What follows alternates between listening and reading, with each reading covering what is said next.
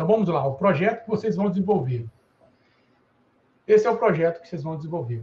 É, é um dashboard e a gente pegou um dashboard open source em TypeScript, que é React com TypeScript, é um dashboard, e ele não tem dados nenhum, ele, ele, ele só tem essa interface é, mocada aí, uma interface com dados fictícios, e o objetivo é que vocês, cada um escolha uma API e obtenha dados dessa API e aplique sobre esse dashboard. No, no Bootcamp passado, a gente sugeriu é, obter dados de API com dados de COVID, né, falar de número de coronavírus, é, é infectados, né, mortos, recuperados e tal. Algumas pessoas fizeram usar essa gradezinha para poder escolher a cidade, a pessoa então podia pesquisar a cidade dela e via os números da cidade dela. Algumas fizeram aqui a, progressão de casos. Então, a ideia aqui é você usar a sua criatividade para obter os dados de alguma API e construir um dashboard. Dessa vez, eu sugeriria que você, se você quiser fazer com dados de Covid, pode fazer, mas assim, talvez exercitar um pouco mais aí a, a criatividade e procurar uma API que não seja de Covid. Então, assim, teve gente que fez com dados de, de, de criptomoeda, de, de, de, Bitcoin, então cotação do Bitcoin, né? qual o valor atual, maior valor em 24 horas, como é que se o valor está subindo ou está descendo, apresentar algum tipo de informação extra aqui. Então, assim, tem N APIs que vocês podem obter dados, aí é, vocês vão ter que pesquisar essas APIs, a gente pode ajudar.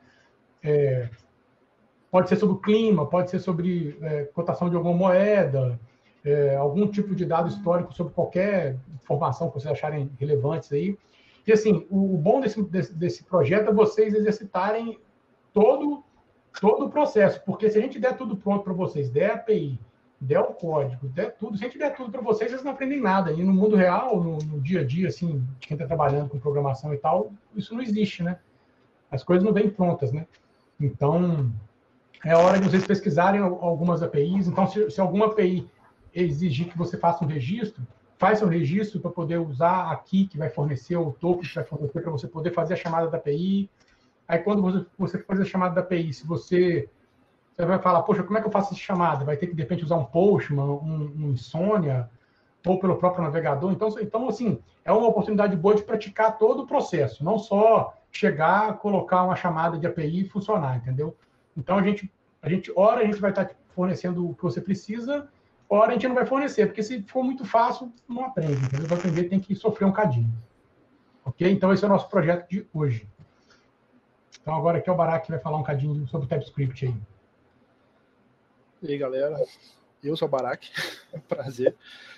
Só antes aqui de começar a falar de TypeScript, falar um pouquinho de mim aqui. Eu já sou programador aqui na Epmaster há três anos e meio. E a gente começou a usar o TypeScript faz um ano, um pouco mais de um ano, né?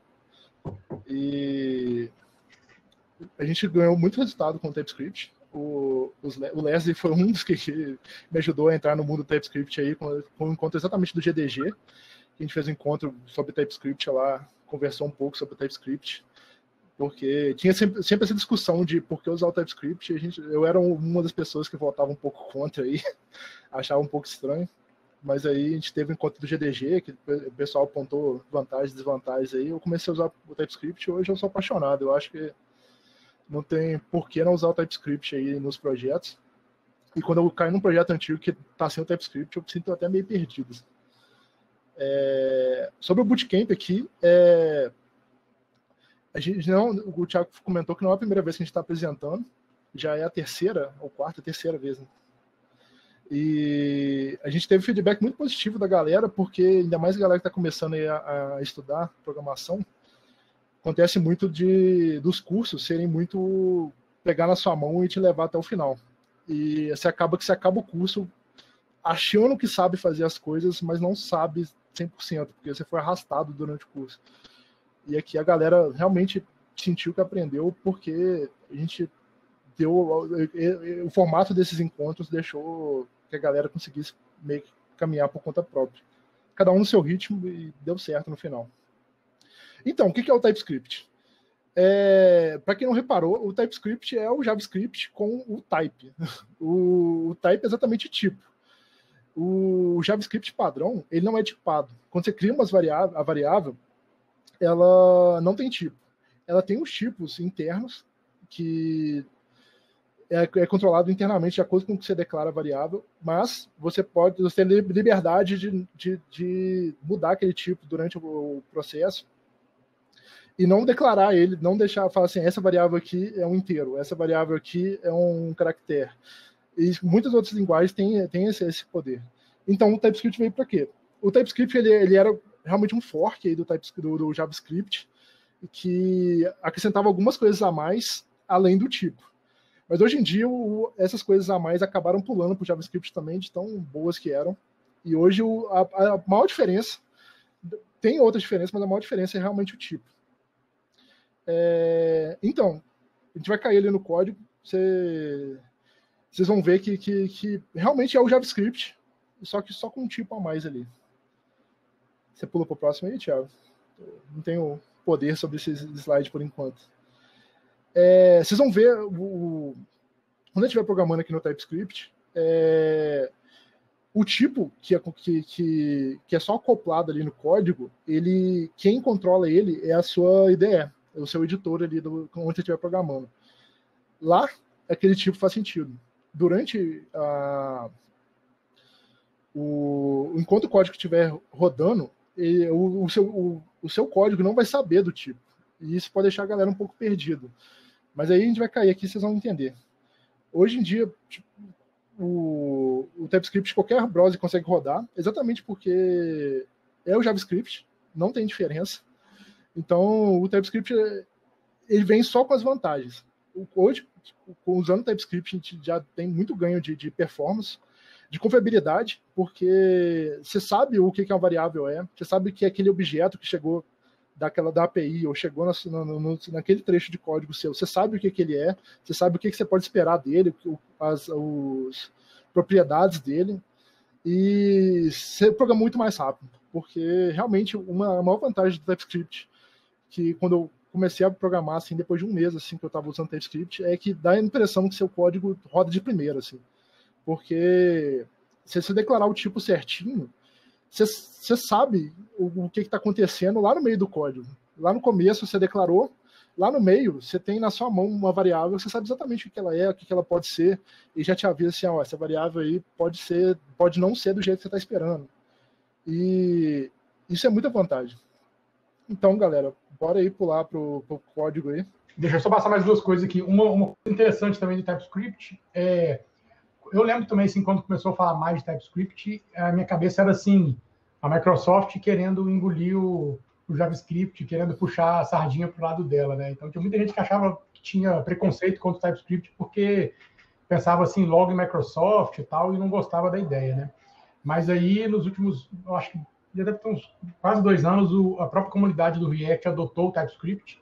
É, eu lembro de um post do, do Abramov, lá, que é o mantenedor do React, falando uma vez ele falando que ele nunca tinha usado TypeScript, que ele não sabia nada de TypeScript. Isso tem muito tempo assim. E o pessoal caiu matando em cima dele, né? E aí passou um, passou um, um bocado de tempo assim, ele vendo que as pessoas estavam adotando e usando muito, e, tava, e você podia usar o TypeScript ou não no React e, e pra, por exemplo, para ele que mantinha o, o React, não fazia muita diferença para ele isso, né? Mas aí com a adoção em, massa assim, do, TypeScript, o, o a, a, a, a, a, galera que produz o, o React optou por incluir o TypeScript como sendo como se fosse o padrão, assim, né? Então o React hoje ele, você pode programar com TypeScript ou sem TypeScript, mas com suporte total, assim, é, é bem mais completo, né? E, a, e de lá para cá aumentou muito o uso de TypeScript para quem está programando é bom porque você erra menos, é muito bom. Para a empresa também é muito bom, porque o cara, quando ele erra menos, ele faz a coisa mais rápida e dá menos problema em produção. Porque se o cara está programando e deixa um bug ali e não percebe, né? Aí aquilo vai para produção, quando alguém estiver usando lá no mundo real, é que vai ver que deu um problema e tal. Então, então tem que ser. Então o TypeScript ele vem com essa vantagem também, né? Então, galera, é... vou jogar aqui na tela de cima só o que for relevante aqui. O... Ontem o Thiago mandou um e-mail para vocês para vocês darem uma olhada lá no projeto. O... A gente já deixou um projeto pré-pronto lá no, no, no, nosso GitHub com alguns passos que já eram para vocês fazerem antes do, da nossa apresentação aqui. Por quê? Já preparar sua IDE, preparar seu ambiente de programação para só a gente pegar aqui o TypeScript de uma vez só. O, então, já é para você ter instalado o Node, o, o gerenciador de pacote, o Yarn ou o NPM, e clonar lá o nosso projeto. Porque aquele, aquele dashboard que o Thiago mandou lá, ele já está prontinho lá, os componentes, pelo menos a parte visual, está pronta lá no, nesse repositório. Além disso, tem, tem algumas documentações aqui, e a gente vai botar a mão na massa aqui. Antes de cair no dashboard, deixa eu explicar para vocês um pouquinho do TypeScript, porque também tem um basicão aqui. É, deixa eu mostrar aqui, aqui a minha ideia, tá dando para ver de boa aí. Eu dei um zoom aqui, deixa eu dar um zoom maior aqui. É, assim tá bom. Vou começar aqui, ó. É, o TypeScript. Como é que ele define o, os tipos lá? Vamos fazer aqui, ó. Ó, TypeScript aqui. Aqui, se você está familiarizado com, com, com o JavaScript, você isso aqui não tem nada demais. Você está pegando, criando uma variável texto e botando um texto nela. A minha está reclamando aqui, porque só porque eu não estou usando essa variável aqui. Mas eu dar um console aqui, provavelmente ela vai reclamar que texto. Ah, não, eu ia falar que reclamar que texto está escrito errado, mas é porque está em português.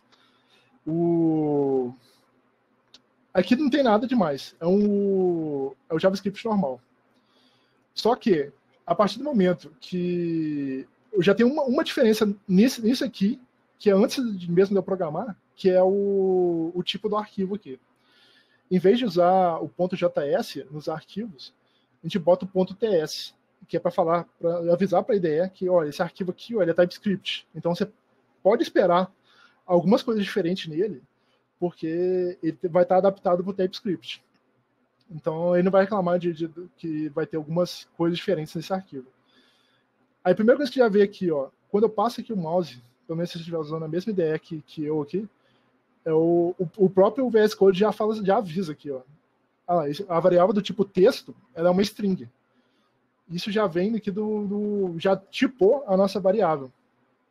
O porque ele inferiu que ela é, um, ela é um, do tipo texto, só porque aqui eu passei uma string para ela. Entendeu? Beleza? porque eu perguntei entendeu, mas eu não consigo ouvir nada, é bem triste. O... Só do, do, do a MIDE, isso, esse tipo aqui, quem inferiu é a MIDE. O, o VS Code aqui que eu estou usando, ele pegou o tipo lá da ele pegou e falou assim, ó, o, a variável do tipo texto recebeu uma string, então eu espero que ela seja uma string dali para frente. Então a ideia já percebeu aqui falou assim, ó, o texto tem um tipo inferido como string. Então, beleza. Só que eu posso criar variáveis que. Deixa eu dar conta log também. Eu, tenho, eu posso ter variáveis que elas não são criadas e já, eu já tenho o valor delas na hora. Aí como é que eu faço para definir o tipo desse, desse tipo de variável? Eu consigo usar essa notação aqui. Eu, falo, eu declaro o tipo declarativo. Eu, em vez de inferir, que eu falasse, ó, pode, o, ter, o tipo é inferido como string, eu falo assim, ó, é explicitamente definido como number. Eu falo que o número, e aqui eu, falo, eu, eu falei o tipo dele, é um, um number. Eu posso falar que o tipo é string? Posso. Aqui que vai acontecer? Aqui no caso, eu tentei botar o 42 no tipo no, no, no número.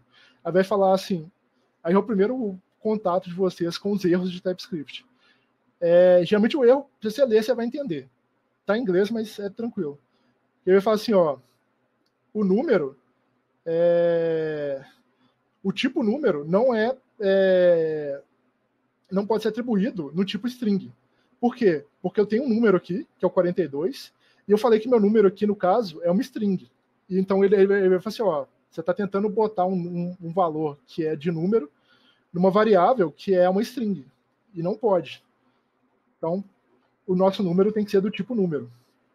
É, uma coisa que quem está começando TypeScript aí começa a perceber que o número aqui no, no, no caso do tipo, ele é qualquer tipo de número. É, se você está vindo de outra linguagem, lá tem o int, float, long. Aqui no caso é só número. Tudo é, é definido como número. É... Beleza, bora aqui para o próximo.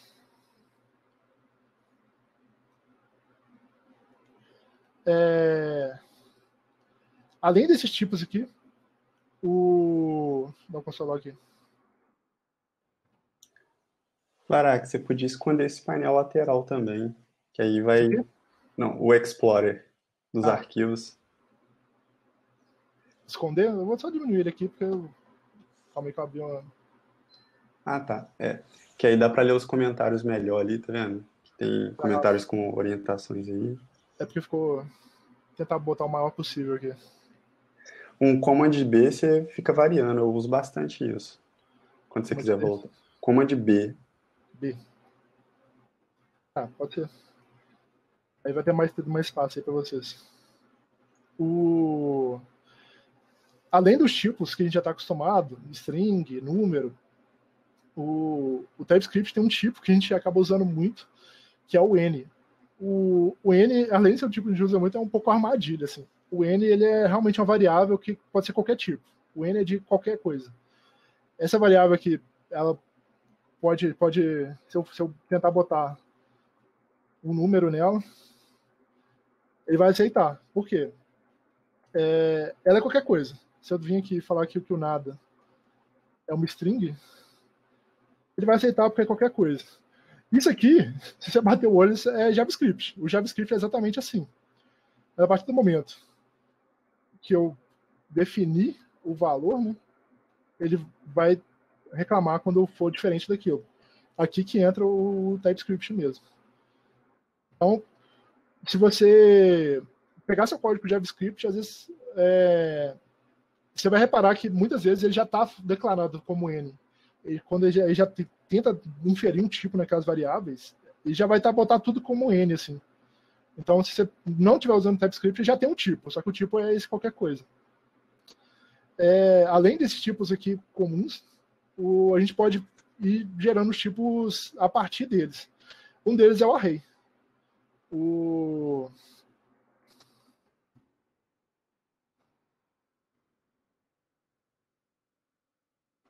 Aqui no caso eu tenho uma lista de texto, que no caso é um array vazio, não, não é um array sem nada. Só que eu declarei que ele vai ser um array de string. É... A notação é exatamente essa aqui. Eu falo que é uma string, só que eu falo que, que eu, eu, vou transformar em um array. Então, é um array de, de, dessa, desse tipo aqui. O... E ele vai tratar do mesmo jeito. Aí, se eu... vocês vão ver que minha, ideia vai começar a me ajudar. Se eu pedir ajuda aqui, ela vai me oferecer os métodos de, de de um array, o concat, o find, o index of. A minha ideia já sabe que aquilo é um array. Vou passar o mouse aqui em cima. É, ah lá, ele falou que é um, que é um, um tipo, um, um array de string, e foi definido explicitamente usando o, falando que é um array. É, se eu tentar acessar aqui e botar uma string, ele vai aceitar. Mas se eu botar um número, ele vai reclamar. Então, mesmo o minha variável não tendo nenhum valor, aqui meu, é um string um array vazio, ele sabe, ele, ele começa a ter os tipos ali para frente. Então eu tenho uma variável já com, com os tipos mesmo não, mesmo não tendo valor para ela. Porque no JavaScript, se eu declarar esse array aqui vazio, ele é nada, né? Eu, eu posso botar string, um, um número, qualquer coisa aqui dentro. É, e do mesmo jeito que eu posso declarar o, o, o tipo explicitamente, o array também vai funcionar com tipo implícito aqui. Se eu, se eu criar uma variável e definir que ela é um array aqui, no caso de número, ela vai virar um tipo implícito. Olha lá, o, teve o tipo inferido através da inicialização. Ele sabe que é um array de número ali. Ó. O, um array, um número com a Racing. Então, através do, do, do, jeito que ele inicializou, ele foi lá e, e inferiu que, que, que, aquela variável ali agora vai só tratar com, com, com array do tipo, com, com tipo de com array de, de números. O Dezer falou ali que outro jeito de, de, de declarar que o, o, o, array é exatamente você passar esse, esse o tipo assim, array string. O, também pode fazer. O, vocês vão cair muito nessa, nessa notação aqui. Por quê? Quando você. É, isso aqui é como se fosse a, a função. Na minha cabeça funciona como se fosse a função do tipo. Você é o, é o que chama de generics. Que você está passando uma variável para aquele tipo ali. Aqui que está falando. Você realmente fica até mais legível. Você fala assim, ó, é um array de string. Aí, no caso aqui, você, você bota qualquer coisa aqui. É um array de números. Aí, ele vai. O, aqui, o, a ajuda vai ser exatamente a mesma. Ele vai falar que é, que é um, um array de números aqui. O, aqui no, no, no, quando ele vê essa, essa, essa chavezinha aqui, não assusta muito não, que é, é, é como se fosse uma função, assim. Ele está passando um array e o parâmetro dela aqui é o string. Então você está só avisando assim, ó, é um array de quê? É um array do, do, do de strings. É, além desse, desse tipo aqui, tem a, a tupla. A tupla é o um array complexo, né? Que é com, no JavaScript seria mais fácil fazer. Aqui eu tenho, eu declaro o, o, tipo de cada coisa. Por exemplo, aqui eu tenho um array de que está guardando um endereço. O primeiro, o primeiro, o primeiro item do array é a rua, o segundo é o número e o terceiro é o bairro. Eu consigo definir assim, ó, o primeiro número aqui, o primeiro é um é uma string, o segundo é um número, o terceiro é um bairro.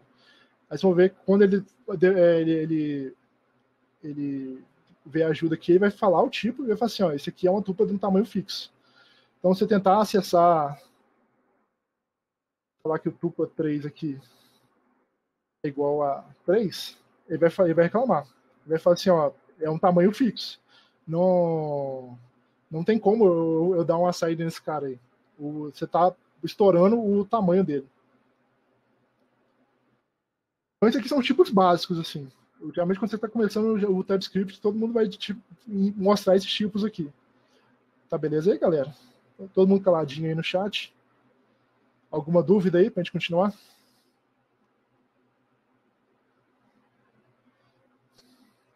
Beleza.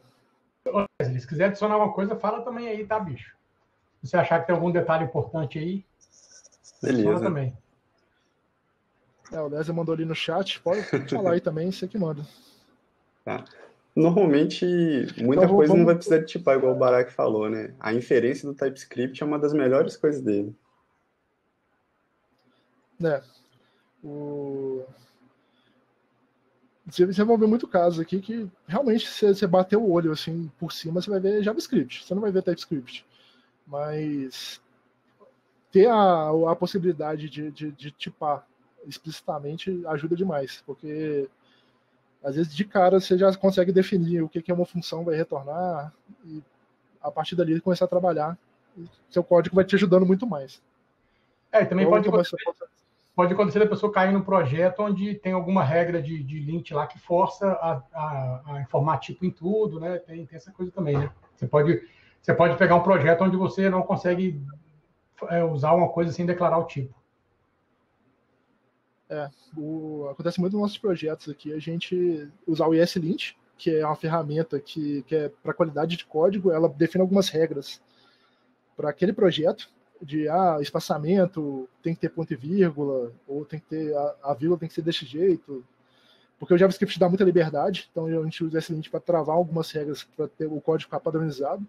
E uma das regras que pode colocar é forçar assim, ó, todas as variáveis têm que ser explicitamente tipadas.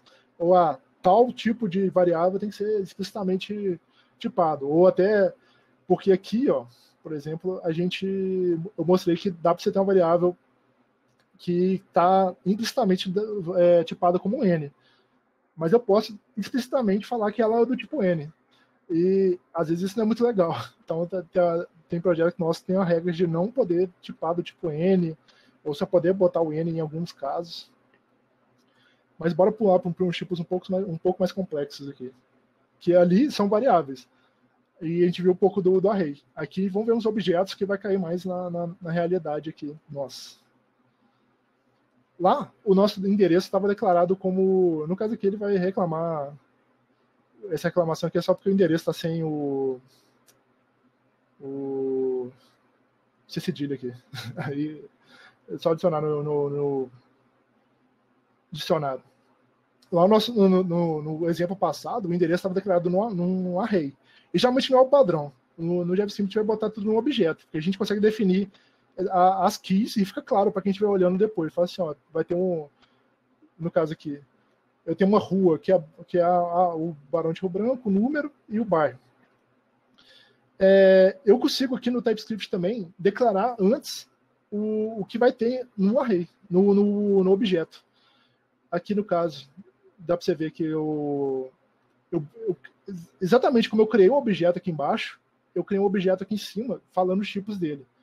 Então, posso até estourar aqui para vocês verem como é que ficou parecido.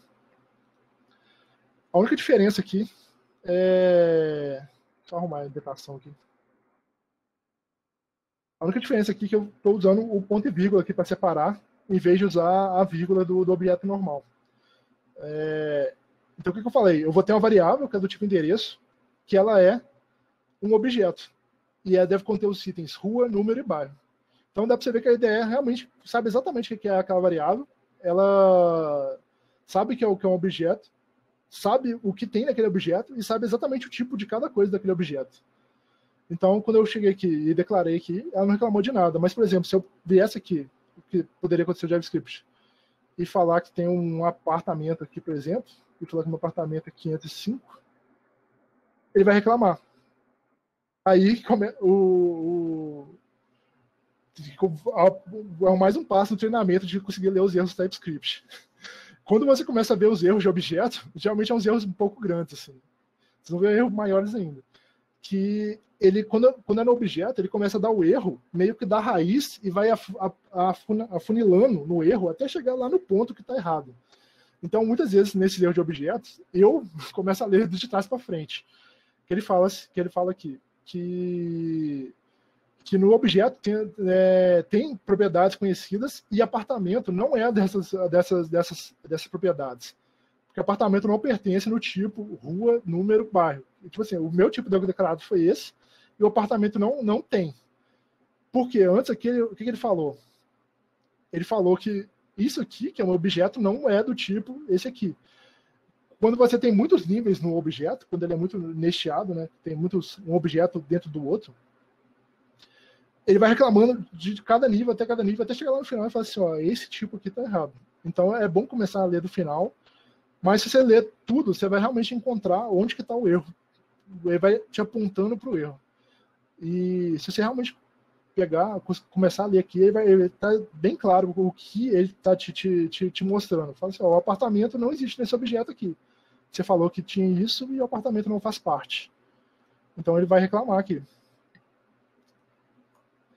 É... Beleza.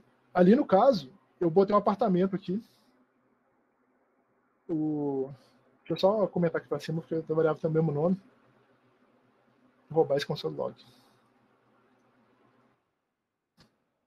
Aqui no caso, ali em cima até tinha botado apartamento, aqui a gente botou o complemento. Só que tem gente que mora em casa, tem gente que não mora em casa, tem gente que mora em apartamento, tem gente que não vai ter esse complemento. Então, o que, que eu posso fazer? Eu posso botar essa interrogação aqui para falar que ela é uma, uma chave opcional. Que eu, o valor dela pode não estar tá definido aí que, que, como é que ele vai mostrar aqui? Ele, ele, mostrou os chips e falou assim: ó, o complemento talvez existe. O, o, complemento é uma dúvida. Ele é uma variável opcional. Então, pode ver aqui no meu endereço, eu não defini o complemento e ele não reclamou. Se eu tirasse o bairro, por exemplo, ele ia falar o quê? Ó, o bairro está faltando.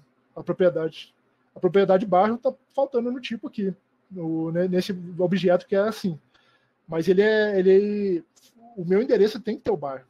Então, quando você não declara com interrogaçãozinha aqui, ele vai falar assim, ó, aquele tipo ali tem que ter nesse objeto. Mas quando eu, o meu complemento aqui, por exemplo, se eu botar ele, ele não vai reclamar.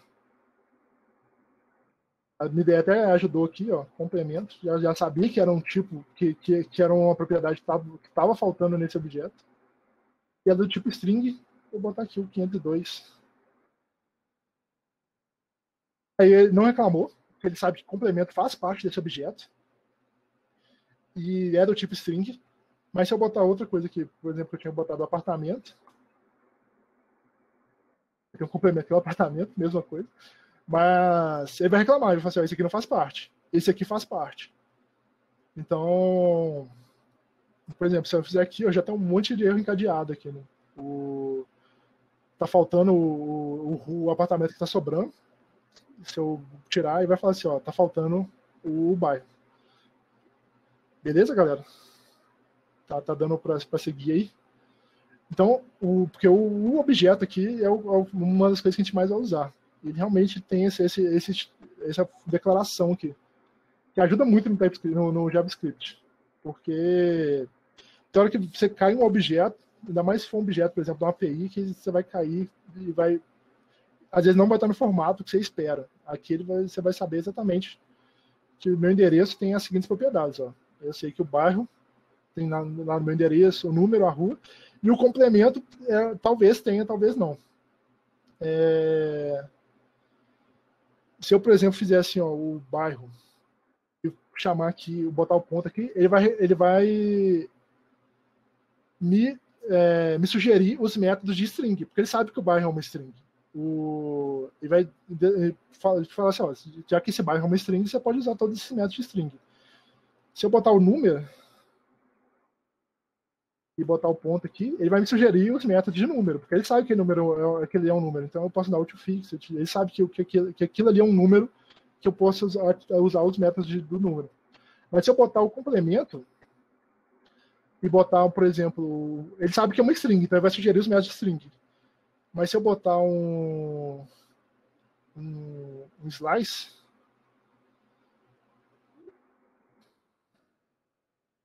No caso aqui está definido, mas se eu tirar ele aqui. Eu estava esperando um erro, mas não, não, não deu erro. Alguém sabe por quê? É por causa do slice?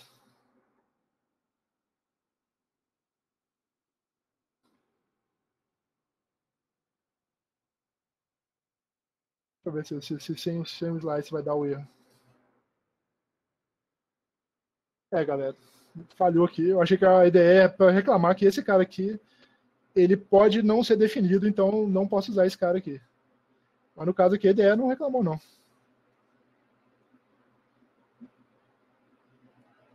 Recebi nenhuma ajuda ali. Então vamos, vamos continuar. A ideia não, não, não quis ajudar aqui, não. Eu concordo contigo que tá estranho. Beleza. O... É, porque geralmente quando acontece isso, na verdade a ideia é o código é até meio chato. Ele vai falar assim, realmente o esse, esse, esse cara aqui não não não é do, do ele pode ser não ser definido. Então então você não poderia usar isso. É, nesse, caso, nesse, caso, realmente não foi definido, né? Era, era, era, eu posso fazer aqui. É ela deveria ter reclamado mesmo ali.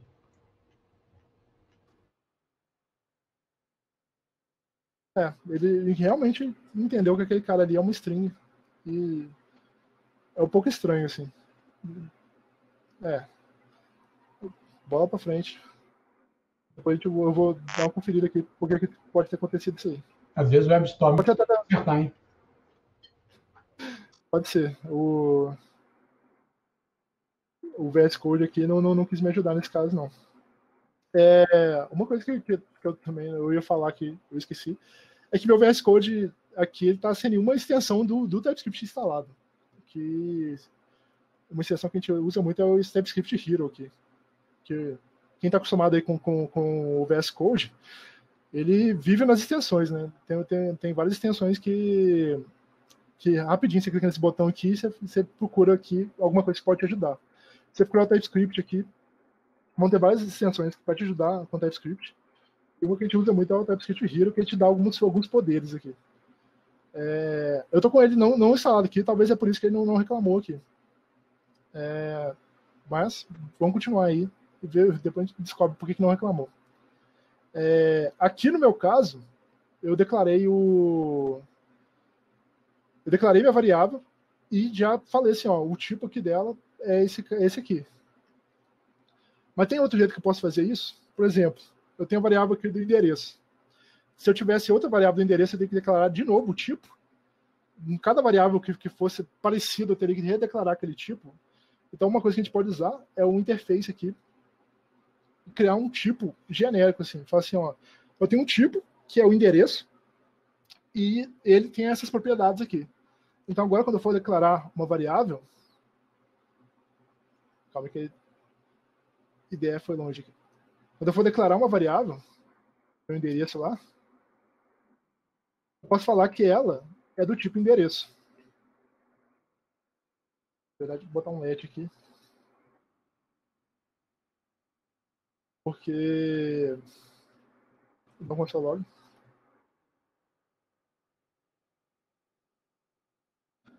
O...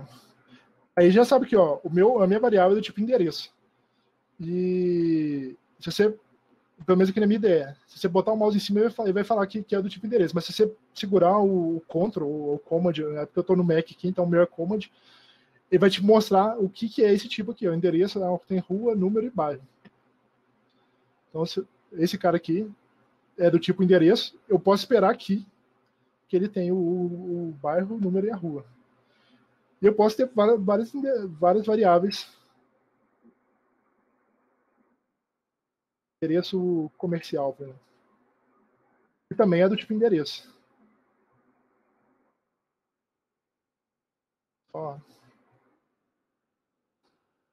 A ideia, Barack, de trocar 6 por meia dúzia, tem uma outra maneira de fazer isso aí que eu também costumo ver bastante. E tem até uma leve preferência.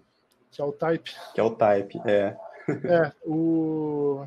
Na verdade, o, o Leslie, você vai ter que tirar uma dúvida. Qual que é a diferença dos dois? Que é realmente trocar de 6 por meia dúzia? Porque até uma dúvida que surgiu aqui com a gente, a gente não, não entendeu, assim. Entendi. Que é o que o Romo falou, o, o, o, o Leslie falou, é exatamente isso aqui, ó. Endereço, eu posso declarar desse jeito aqui. Falar o type e falar o que, que tem nesse tipo aqui, que é exatamente a mesma coisa. Uhum. Vou usar aqui em vez da interface aqui, eu posso declarar o como type aqui e falar. Para mim, realmente, eu, eu tenho preferência por esse, porque fica bem claro que eu estou criando um tipo novo. Um uhum. tipo novo, endereço, e tem essas coisas. E aqui ele vai lidar com a mesma coisa. Na verdade. Interface, você pode usar, tipo, quando você cria uma classe, e você pode. Como é que chama? Implements. Você pode usar o implements semelhante a Java, por exemplo, né, as outras linguagens tipadas Aí você pode falar, aquela classe implementa essa interface. Né? Agora, com o type, você, você não necessariamente tem que usar na classe. Você vai atribuir do jeito que você fez na linha 51 e 52. Uhum. Você fala, ó, essa variável é do tipo endereço, e ela pode receber qualquer coisa. Né? No caso, uma classe que realmente implemente isso. É uma coisa aqui que eu não, não tinha reparado antes, mas acabei de reparar é que aqui no. Só de eu passar o mouse em cima do, do, do meu tipo aqui, já falou o, o que tem dentro desse tipo, o que não aconteceu na interface. Na uhum. interface eu tive que segurar o, o command aqui para ter mais informações. Aqui no caso, mais informações mostra a mesma coisa, mas só de eu passar o mouse aqui já me deu mais, mais informações sobre o meu tipo. Então, é realmente. É muito parecido. Só que, igual eu tô vendo nos comentários ali embaixo, você vai falar de outras coisas, eu acho que interface não dá para fazer isso, dá? Não, não dá não. É só com type mesmo. É, vamos, vamos pular para cá. Então, o... Que é exatamente o, a interseção aqui. O... Por quê? Aqui no caso eu criei o endereço aqui, que, que é o endereço, endereço normal, e usei o endereço comercial sendo a mesma coisa. Mas o que acontece? Às vezes o endereço comercial você tem mais coisas do que o endereço normal, aí já entra a, união e interseção de tipos. O que acontece? Aqui eu posso pegar dois tipos que são que eu criei e juntar eles ou falar pegar coisas que são em comum entre eles. É... Então, é... O... Aqui eu criei dois tipos, que é o contato, o e-mail e o contato telefone. Meu contato e-mail tem o nome e o e-mail, meu contato telefone tem o nome e o telefone. Então dá para você reparar que o nome está nos dois, mas a segundo, o segundo, a segunda propriedade aqui do meu objeto, ela varia de um objeto para o outro. E aqui eu criei um contato que na verdade vai ser a, a junção do, dos dois. O que eu falei? Que o meu contato vai ser ou um ou o outro. Aqui no caso, quem já está acostumado a usar a barrinha aqui no, no, pro WoW na, na programação, o aqui no o aqui em vez de usar a barra o, o, o duplo aqui que é a do do JavaScript normal no tipo aqui eu não estou fazendo eu, eu, citei o ou aqui mas na verdade não é um ou ele está fazendo a união. Então por isso que é só uma barra aqui que é a ideia é similar ao ou mas no caso não é exatamente a mesma coisa porque aqui não estou devolvendo um booleano né não estou devolvendo um true ou false. Estou realmente falando assim que o contato ou vai ser de um tipo ou vai ser do outro. Então, quando ele quando está fazendo isso, ou um ou outro, então aqui o meu contato é o quê? Ele, ele, ele tem o nome, ele tem o e-mail, ele tem o telefone. É, ele vai cair no mesmo caso lá do, do, do das minhas variáveis que são que são opcionais.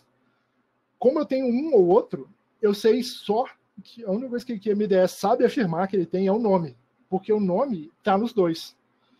Então, se eu, se eu pegar aqui e pedir para ele recomendar, ele vai falar assim: ó, o nome eu sei que ele tem, com certeza ele tem, porque ou ele é um contato de e-mail que tem o nome, ou ele é um contato de telefone que também tem o nome. Então, o nome eu sei que ele tem. Mas o telefone, por exemplo, é... eu não sei se ele tem. Por quê? Porque o telefone não existe no contato e-mail ele ele é um dos dois.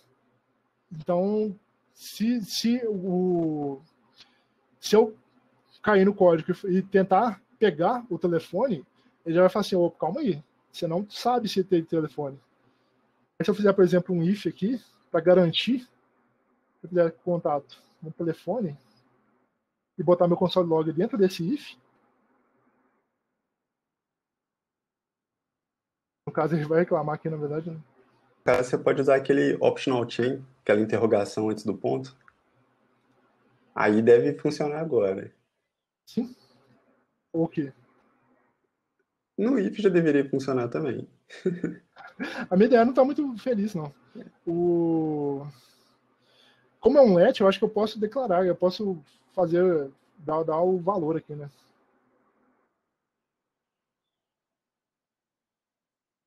Posso botar o um nome aqui.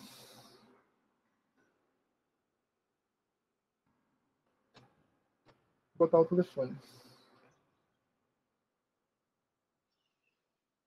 É, é uma coisa que eu costumo fazer um pouco diferente, por exemplo, na linha 75, você colocou como let. Eu colocaria, por exemplo, como um type. Type? É, uhum. porque, porque aqui eu, eu, eu Ele já... é um novo tipo que resulta da união de outros dois tipos. Uhum. Né? É, tipo... porque aqui o que, que eu fiz? Eu criei o, o contato já declarei o tipo, mas realmente, como o você falou, daria para fazer um type, igual eu fiz aqui em cima, né? Uhum. Eu declarei um tipo que é um que é um endereço, eu posso fazer um tipo contato, o contato global, ele é essa união aqui, realmente. Meu contato é do tipo contato. Aí vai cair no mesmo caso aqui. Só que agora ele vai falar que o contato é do tipo contato. Uhum. E agora que eu declarei aqui o telefone, eu não posso declarar mais o e-mail, eu acho. Porque ele vai falar assim, ó, tem um, mas não, mas tem outro. Então, qual, qual que é o meu tipo? Ele vai inferir pelo último, eu acho, né? Ele vai falar assim, ó, telefone não existe porque tem um e-mail. Então, se tem um e-mail, é do contato e-mail. É... Deixa eu tentar inverter aqui para ver se ele vai reclamar do, do. Eu acho que se eu inverter, ele vai deixar passar. Não, ele vai reclamar do mesmo jeito, porque eu, como eu declarei aqui tudo, ele vai inferir que, que só esse cara aqui tá certo. Né? Isso aqui eu já estou extrapolando, assim, para fazendo é. testes bizarros. O optional chain agora vai funcionar? Será? É, tudo aqui, sim. É. Uhum. Não, vai reclamar do mesmo jeito. Hoje reclamando realmente porque como eu estou declarando, como aqui eu estou inferindo que pode ser um contato e-mail, ele vai, não vai deixar o telefone. Uhum. E, botando o e-mail aqui, parece que ele realmente falou assim, é um, pode ser um contato e-mail. Ele continuou com a possibilidade. E aqui, quando eu declarei só o número de telefone, ele deixou, ele falou assim, ah, esse cara aqui, é um contato, mas ele é um contato telefone, já virou o tipo. Ele entendeu que esse cara aqui, como ele podia ser um contato e-mail e um contato telefone, como eu declarei ele com as propriedades do contato telefone, ele aqui para baixo ele falou assim, é um contato telefone.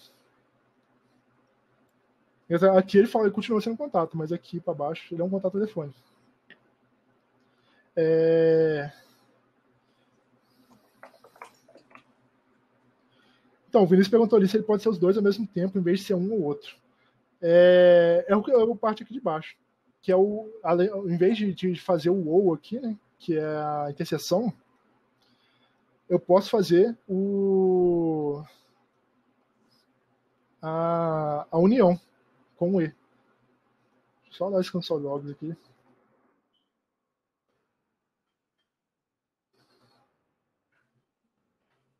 A gente está reclamando aqui porque está declarado duas vezes. Né? O... o que, que, ele fala aqui? Aqui eu, eu, tenho uma variável, que é o contato completo, que ele é o contato de e-mail mais o contato telefone.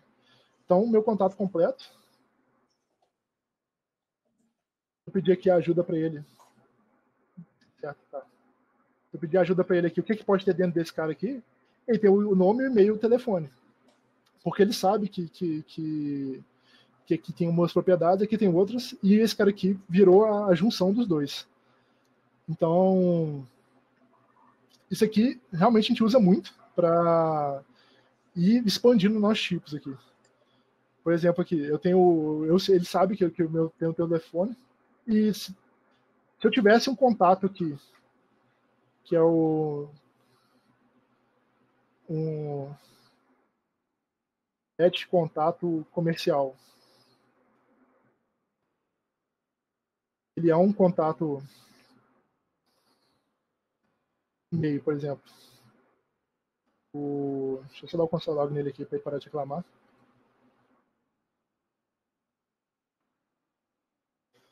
Aqui no caso eu, eu, eu criei um contato comercial aqui que é só um só o, o contato e-mail.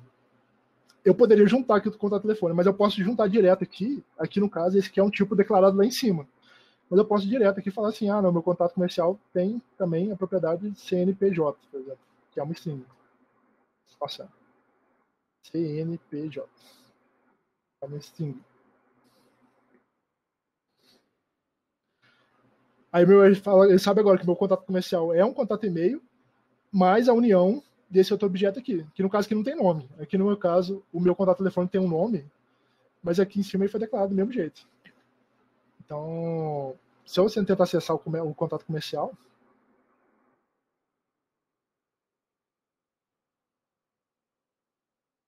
sabe que tem as propriedades do e-mail, mas a propriedade que eu falei ali. E do mesmo jeito, eu posso botar aqui que tem o, CNPJ opcional. Aí ele vai saber que também, ó, talvez seja o CNPJ. Então, os tipos eu posso ir nomeando eles desse jeito aqui, né, criando types como até o Leslie falou, assim, tá, é melhor, porque aí você, você, vai deixando seu código mais limpo, é uma boa prática, e vai ficando bem declarativo, né? Eu sei que tem um contato com o telefone, só de olhar pelo nome aqui. Mas eu também nada impede de, em algum caso específico, eu declarar direto aqui no, no, no tipo, falar assim, ó, isso aqui é uma variável que é, ela, ela é diferente das outras. Ela tem esse tipo aqui, mas ela não é esse tipo puro, ela também tem essa propriedade aqui. Então, você tem esse poder aí no, no, no TypeScript. Beleza, galera? Tem mais alguma dúvida aqui antes de a gente passar para a próxima parte aí? Alguém tem um comentário para fazer? Para mim tá beleza. Tá dando para entender bem. É só realmente, como você falou, por, por, boa prática, às vezes, para ficar um pouquinho mais limpo, é bom criar separado os tipos e depois atribuir em vez de fazer direto. Mas é, é um poder que, é. que a gente tem que dar para fazer.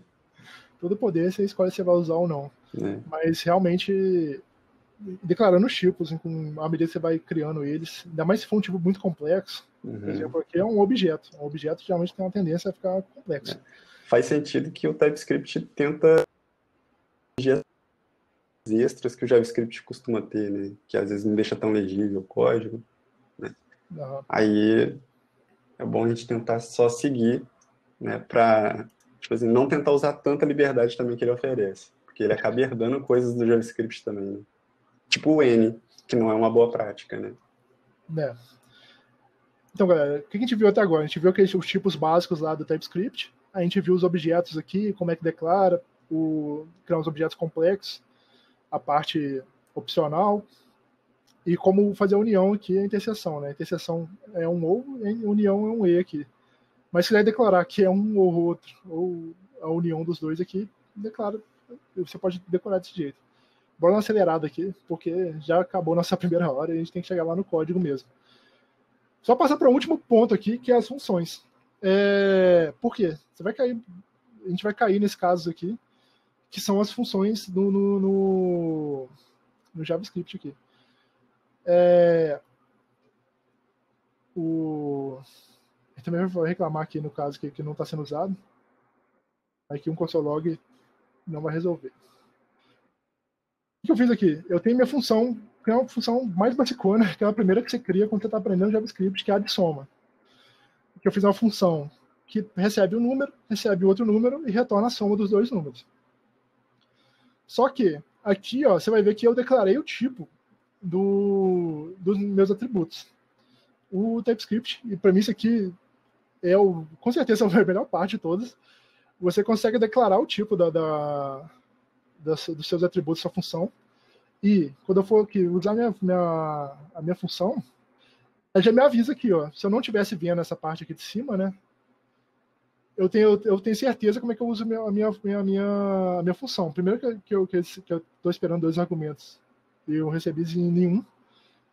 E eu sei que a minha função soma, ela tem um argumento do tipo número, um outro argumento do tipo número, e ela retorna um número.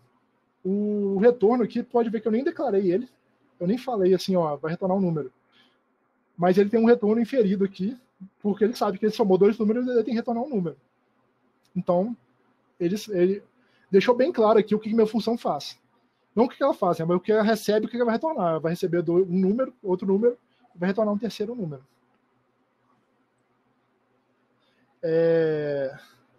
Aqui no caso, eu usei o function aqui, mas se você já estiver usando o ES6 aí, nada impede você usar o arrow function, que é a mesma coisa. Essa parte aqui de cima é exatamente a mesma coisa. Fazendo exatamente a mesma coisa.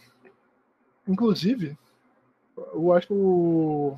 Não, eu ia falar que o auxílio aqui é o mesmo, mas ele manteve ali com arrow function ou com function. Aqui, para quem não está acostumado, é a mesma coisa aqui de cima. Aqui eu estou criando uma function que chama soma, que recebe esses argumentos e retorna isso aqui.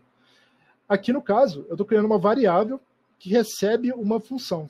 Essa função que ela não tem nome, é uma função que não tem nome, apesar da minha variável ter um nome. E essa função aqui, é uma, ela é a mesma coisa, recebe dois argumentos, o A e o B. Isso aqui ó, é o que ela vai. onde que ela vai usar a função, né? Que é uma setinha, por isso que a gente chama de arrow function, que é fun função de, set, de seta. Aí ela retorna esse A e B aqui. E do mesmo jeito, eu, eu criei aqui o. Declarei os tipos aqui e ele conseguiu inferir o retorno. Beleza aí? Uma vantagem da primeira abordagem que você fez ali é que ela tem um nome. Então, no debug, tipo assim, deu um erro. Né? O stack trace do erro vai ser mais explícito no nome da função em que deu erro, né? Embaixo vai falar assim, deu erro numa função anônima. É um pouco mais complicado, mas dá para chegar lá também. É, tem... então, eu tô mais, eu tô incrivelmente mais acostumado com essa aqui. É. Faz tempo que eu não uso uma, uma function mesmo. A, a, de baixo, inclusive, em vez de ajudar. Ah, não, deixa eu ver. Ah, não, é porque o nome também da função é maior, né? Ela costuma é. mais ser mais resumida, né? É. o Alan falou ali que, que, que a Arrow Function também, opa, também aparece lá no, no debug. Só que geralmente chama variável. É. Aí. A, é aparece, só não é explícito, né? É, cada um tem uma vantagem e desvantagem. Tem questão de, de, de, uhum. de escopo também, mas não é o nosso foco aqui. Mas realmente, tanto faz, você pode usar qualquer uma das duas.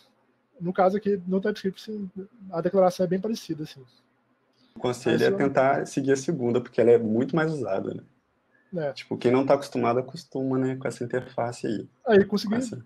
bater o olho e saber ver as diferenças. Por exemplo, esse tem, é. aqui tem um igual, que aqui não tem, que geralmente o pessoal perde ele, e é, é a setinha aqui. A diferença é essa. E aqui no caso, realmente é uma função que eu estou, um, uma variável que eu estou botando esse valor nela, e que eu estou realmente declarando uma função.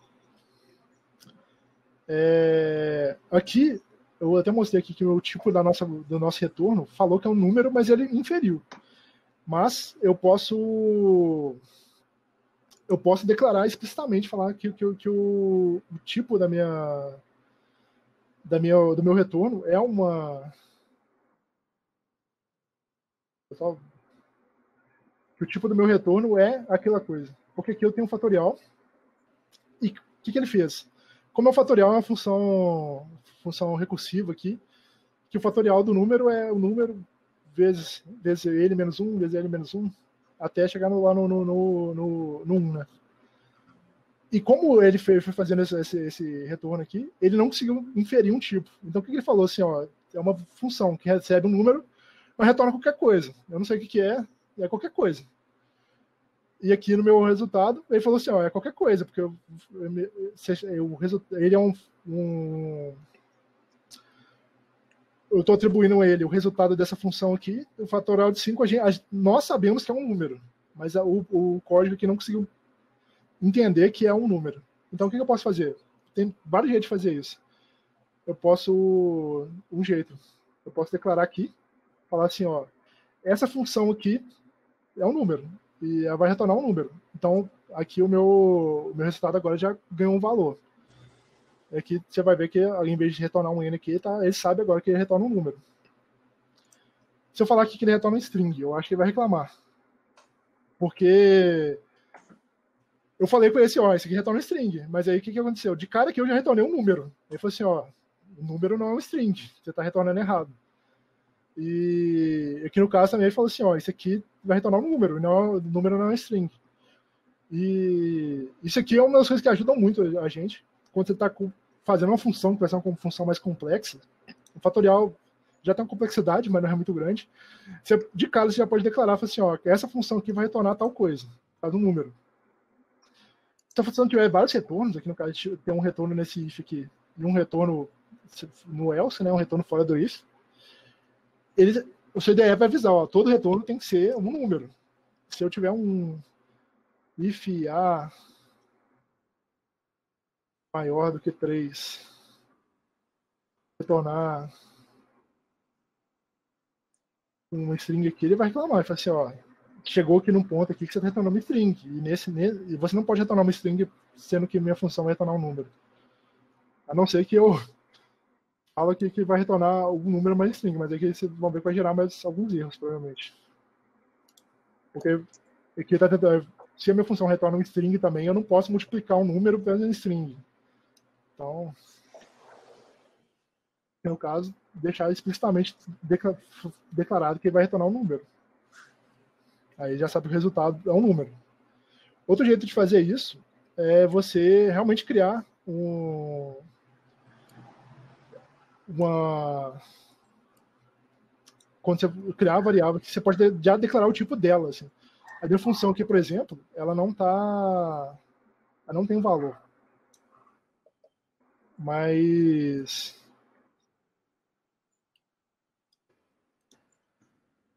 Eu sei que o tipo dela é uma é uma função que recebe os do, recebe o, um número, outro número e retorna um número. Mesmo ela não tendo valor ainda, a IDE já, já sabe o que, que ela é. Então eu posso eu posso fazer aqui e declarar. Eu posso usar ela com a ideia já sabendo o que, que ela é. E a boa prática lá que o Wesley tinha citado é usar isso no tipo.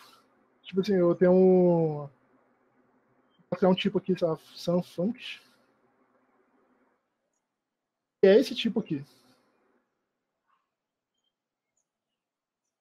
E a minha função é desse tipo aqui. Então, toda vez que eu tiver uma função que é que ela tem os mesmos parâmetros, eu posso ir reaproveitando esse tipo aqui. Ou, como estava, posso declarar direto aqui. É... Beleza. O... Aqui é o mesmo caso lá do, do, do objeto. O... Na verdade, eu acho que ele está reclamando porque estava esperando uma declaração aqui atrás. Onde está declarado? Na verdade, acho que tem que pular com essa declaração de cá para cá. É o contato completo. Cara aqui. Ó, deixar comentar esse cara aqui. O que, que eu fiz aqui? Eu tenho uma função que, que envia um e-mail e ela está esperando que ela vai receber um contato, e esse contato tem que ter um e-mail, tem que ser um objeto que tem um e-mail que é uma string. E lá atrás eu tinha criado uma varia um, um, tipo que é o contato completo. Que o contato completo aí tem o nome, e-mail e telefone. Então o que aconteceu? Aqui eu passei para minha função de enviar e-mail esse, esse, esse contato completo aqui. E ela aceitou. Ela aceitou por quê? Porque é um, o, contato, o novo contato é um objeto que tem o nome, tem o e-mail e tem o telefone. Então, como tem o e-mail, que é o que ele está esperando aqui, ele falou assim: ah, beleza, tem o que eu, eu quero, então tá, tá aceito. Ele não, aqui nessa variável aqui, se eu perguntar para ele o que tem no contato, tem só o e-mail. Ele não sabe que tem as outras coisas que eu passei para ele. Por exemplo, meu contato completo tem várias coisas. Mas ela não sabe que eu passei um contato completo. Ela sabe só que eu passei um contato simples aqui, né? Que só é um objeto com um e-mail. É... Beleza, galera? Beleza. Tem alguma dúvida aqui? Porque agora a gente vai cair no código mesmo aqui, do, do dashboard lá. Aí. Com certeza vão surgir algumas dúvidas aí. O, a gente, esse formato de, boot, de bootcamp aí, a gente, a gente percebeu que exatamente a melhor parte dele é as dúvidas aí que vão surgindo e elas surgem agora quando a galera bota a mão na massa. Beleza. Agora a gente fez essa primeira parte aí, a gente passou por todos esses tipos de variáveis, tipo, as variáveis básicas do, do, do, do, do, do TypeScript lá, os objetos e o jeito lá de lidar com eles e as funções. Agora bora pular no React aqui, que é o resto do nosso do nosso projeto lá que estava no GitHub. Vou aqui é o projeto clonado aqui. Vou fazer o seguinte, eu vou rodar ele aqui na minha IDE. Eu já tinha até rodado ele mais cedo aqui. Se você for lá na você, provavelmente lá já tinha pedido para vocês rodarem, então já deve estar tá rodando aí, que é dar um npm install ou o yarn lá, né? npm install, npm i e dar um npm start. Se dá um npm start, ele vai rodar o nosso projeto aqui e já vai botar ele para rodar lá na porta 3000. É... Só dá um zoom no seu terminal aí, que tá meio pequeno para mim. Beleza. Eu tinha dado um zoom aqui, vou dar um zoom maior ainda. Beleza? Ótimo. Então, só deixa no, no dashboard abriu aqui no, no, numa outra, no, no meu browser aqui. Só esperar ele dar uma carregada aqui. Tá rodando aqui ainda no, no terminal.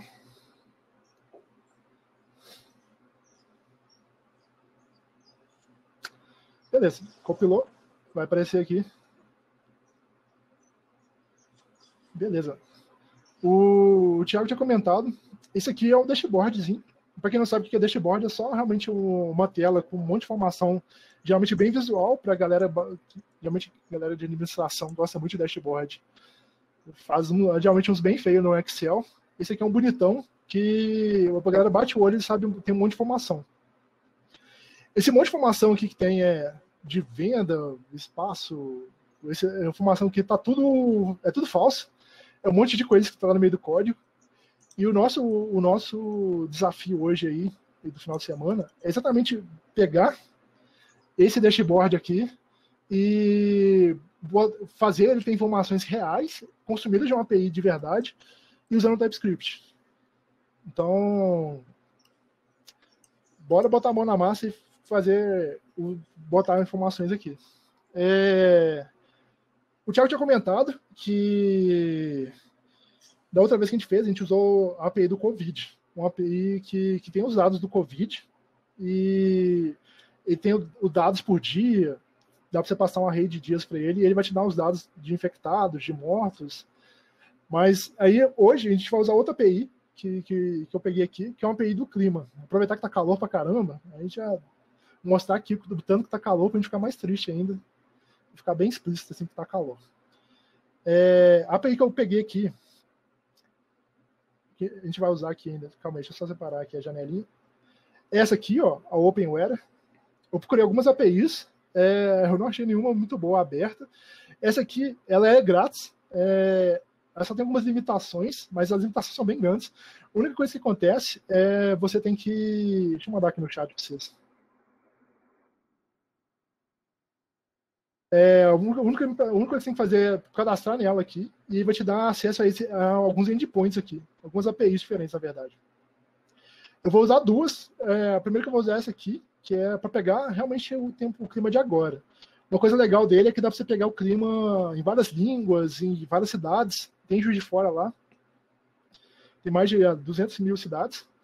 Só que eu vou fazer com essa API aqui como exemplo se você quiser pegar outra API aí, quiser bater no Google aí, é, APIs grátis, ou pegar uma API de Bitcoin, quiser mostrar o valor do Bitcoin, o valor do dólar, você que manda.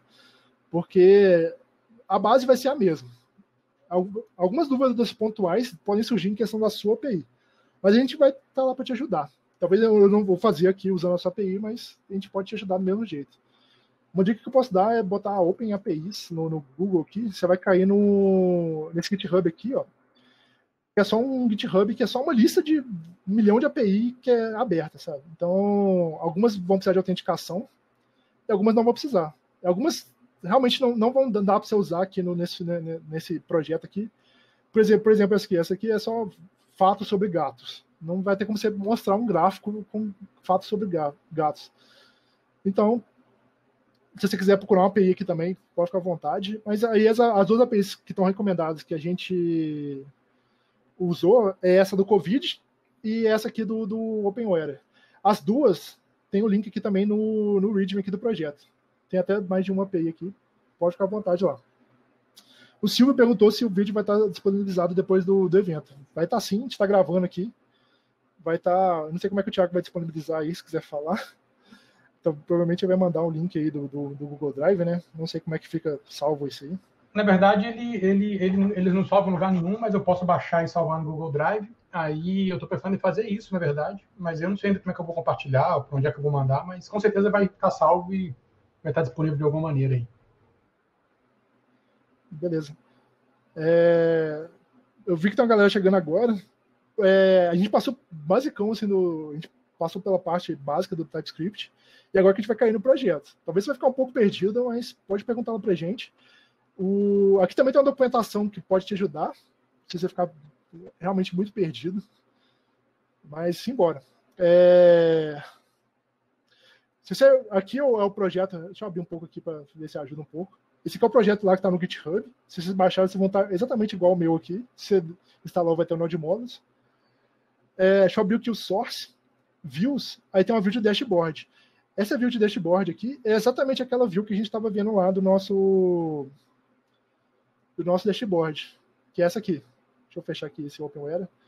Essa view aqui é essa view aqui. O que a gente vai fazer? A gente vai editar ela para pegar e botar dados reais.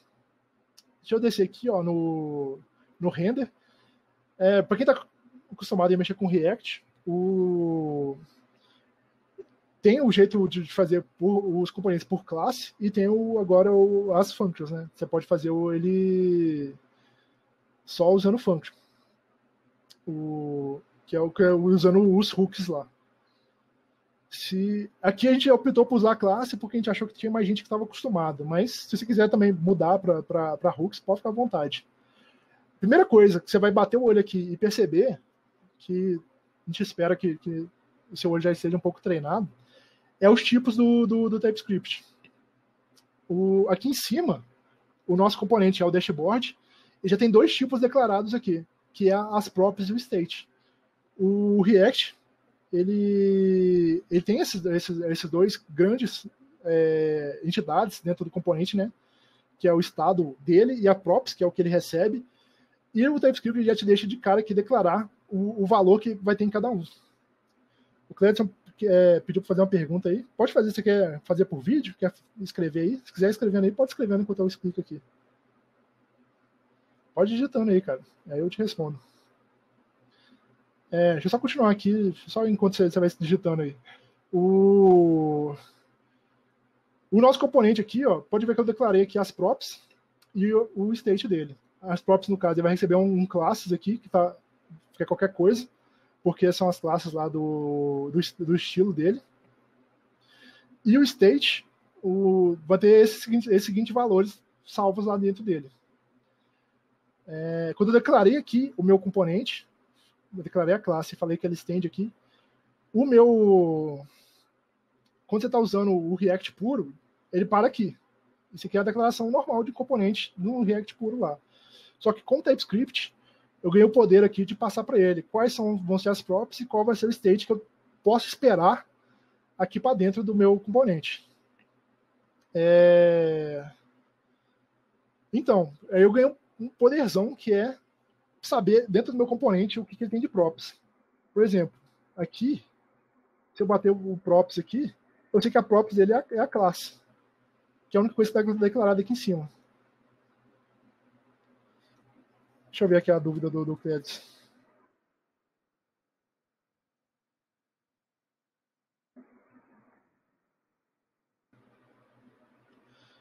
Eu quero exatamente do, do classe aqui para o function, né?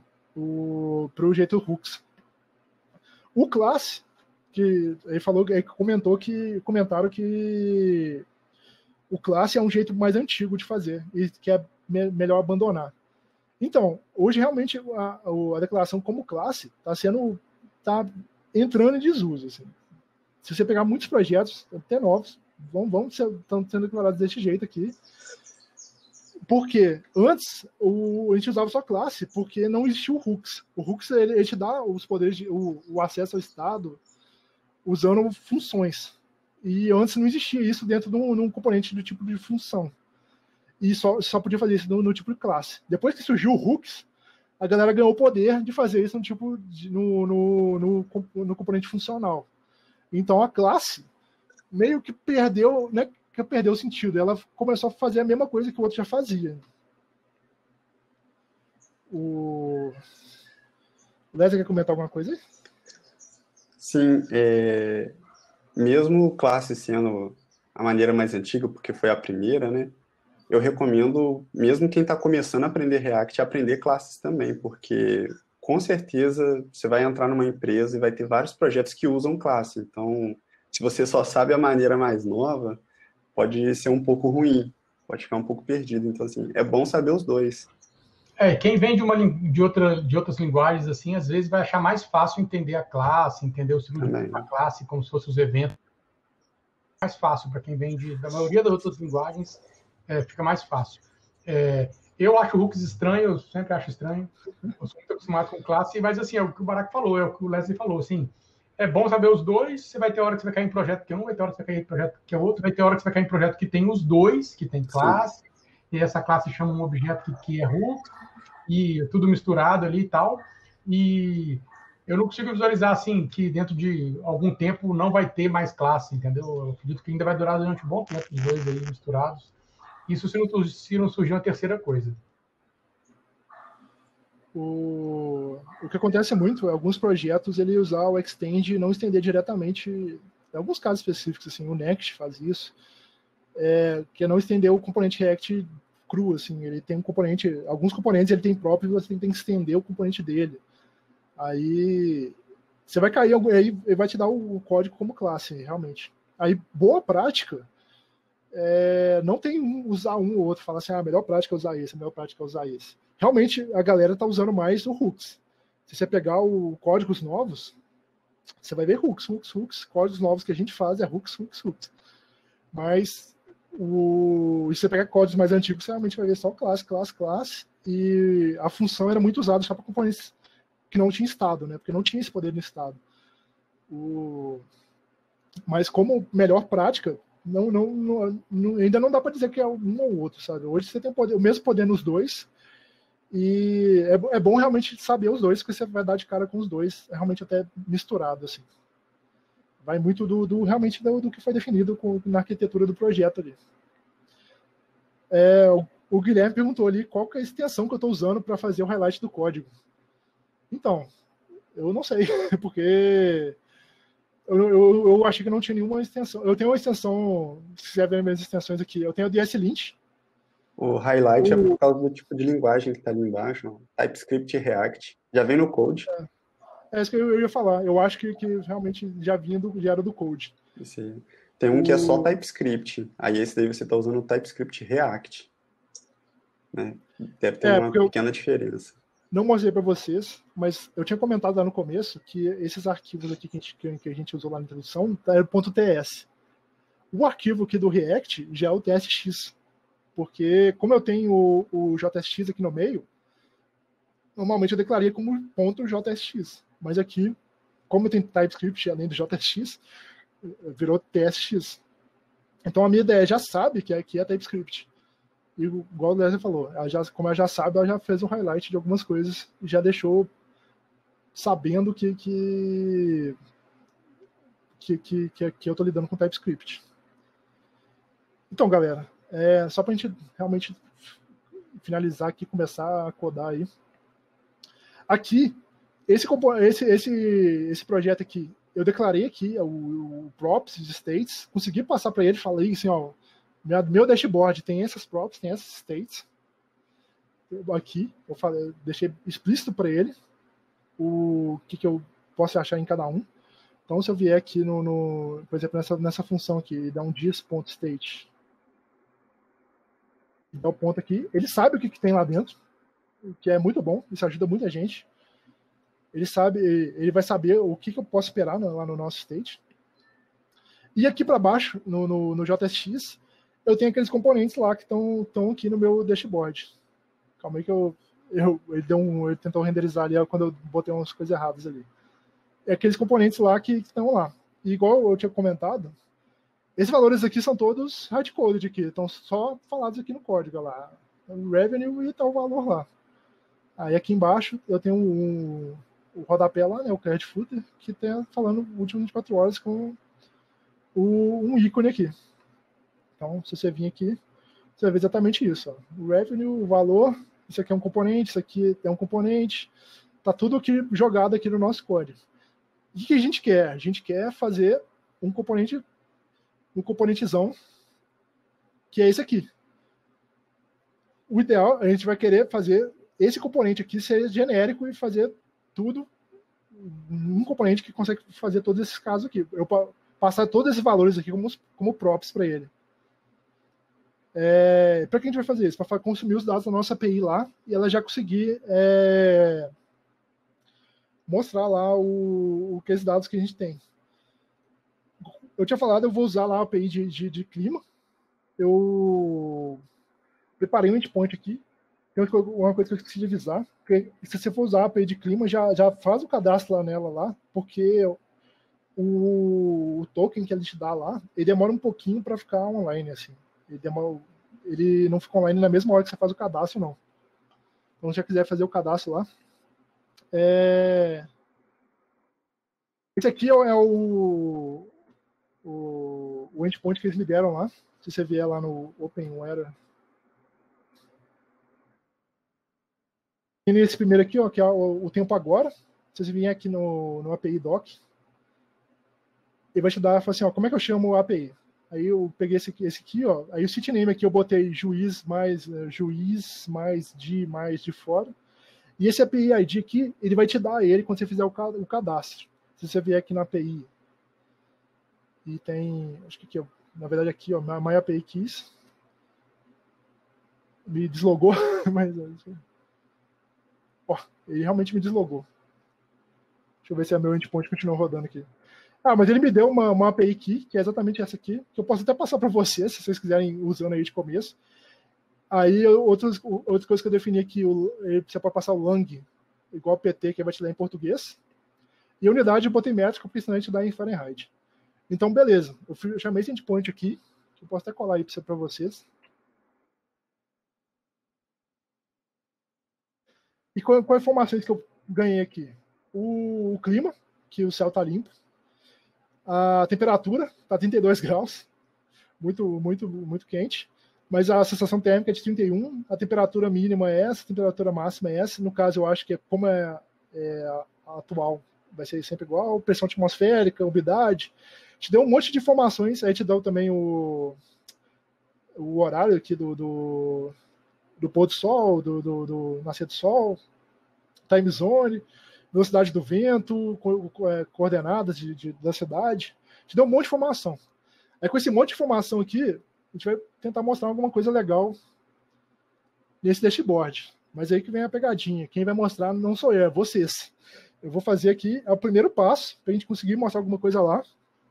E a gente, depois, a gente vai deixar por conta de vocês tentar mostrar essas coisas aqui nesse dashboard da melhor maneira possível. Então, como o nosso componente aqui está como classe, vamos fazer o seguinte: vamos pegar e lá no, no quem está acostumado aí com, com, a, com esse, o componente como classe, eu tenho os métodos de ciclo de vida do, do React aí, que eles vão ser chamados em alguns momentos da, da, de acordo com o estado do componente. Um deles é o component mount. Quando o componente é mostrado na tela, ele vai lá e, e mostra e roda esse, esse, esse método aqui. O que, que eu vou fazer aqui? Nesse método aqui, que eu vou dar. Nesse método aqui, eu vou pegar e fazer um fetch lá na, na nessa API de, de clima para pegar os dados dela. Então, primeira coisa, ó, deixa eu só mostrar para vocês realmente está rodando aqui.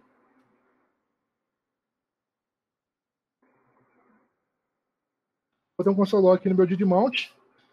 Se eu voltar aqui no meu dashboard, vamos mencionar aqui ir no meu console.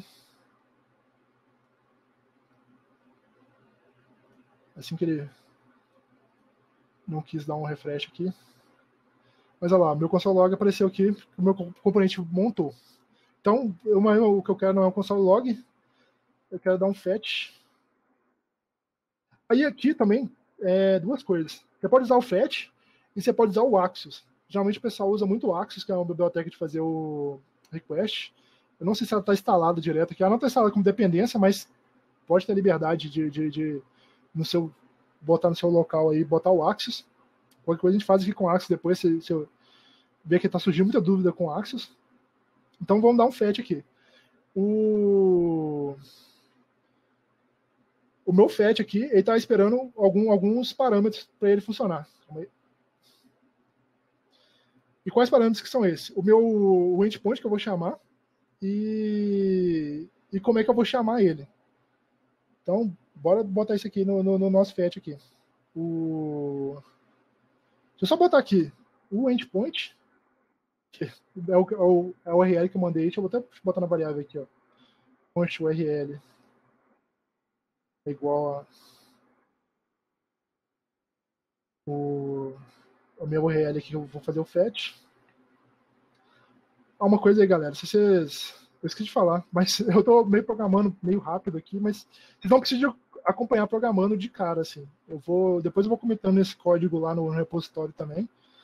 E a ideia é vocês depois fazer por conta própria. Então vou só dando norte aqui e a gente vai dando jeito aí. Fiz o, fetch aqui, aí eu vou transformar meu, minha resposta num JSON aqui. Que eu dou um res. Vai retornar um response aqui. Vou dar um response.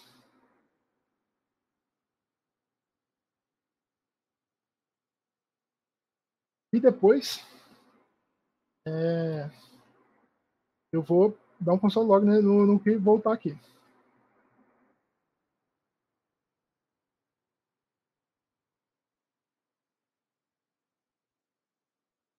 Vou encerrado aqui. Beleza. Deixa eu só encadear aqui, pode que vai ficar mais fácil vocês verem. E fechar um pouco aqui. Beleza.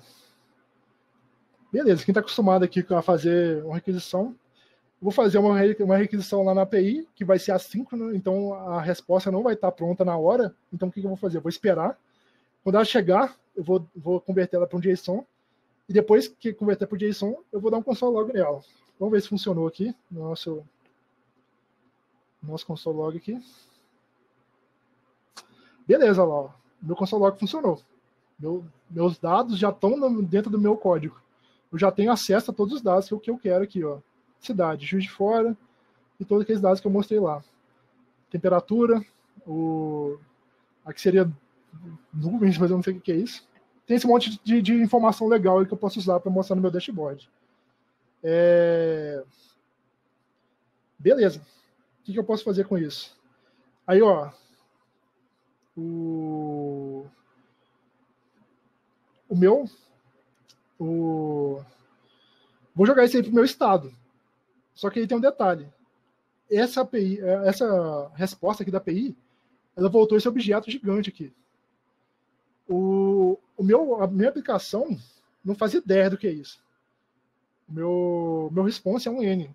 Então, primeiro passo, eu vou tentar criar um tipo para definir esse, esse, esse retorno da API. Aqui, em cima, eu criei os tipos aqui de props e state.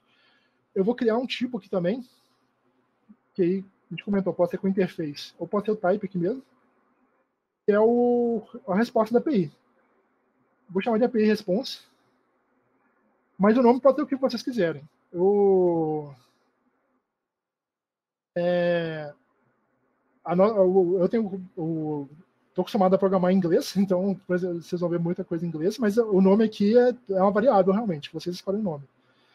E o que, que tem no meu tipo da minha, da minha, da minha resposta da API aqui? Posso até, vamos entrar aqui nesse link aqui e dar uma olhada. É, só organizar aqui certinho. Eu posso declarar tudo aqui, mas eu posso declarar só o que eu quero que a minha aplicação saiba. Por exemplo, eu sei que tem a, a coordenada, é um objeto, que tem a longitude, que é um number, e tem a latitude, que também é um number. O que mais tem no meu objeto aí que pode ser interessante de eu usar? Tem o clima,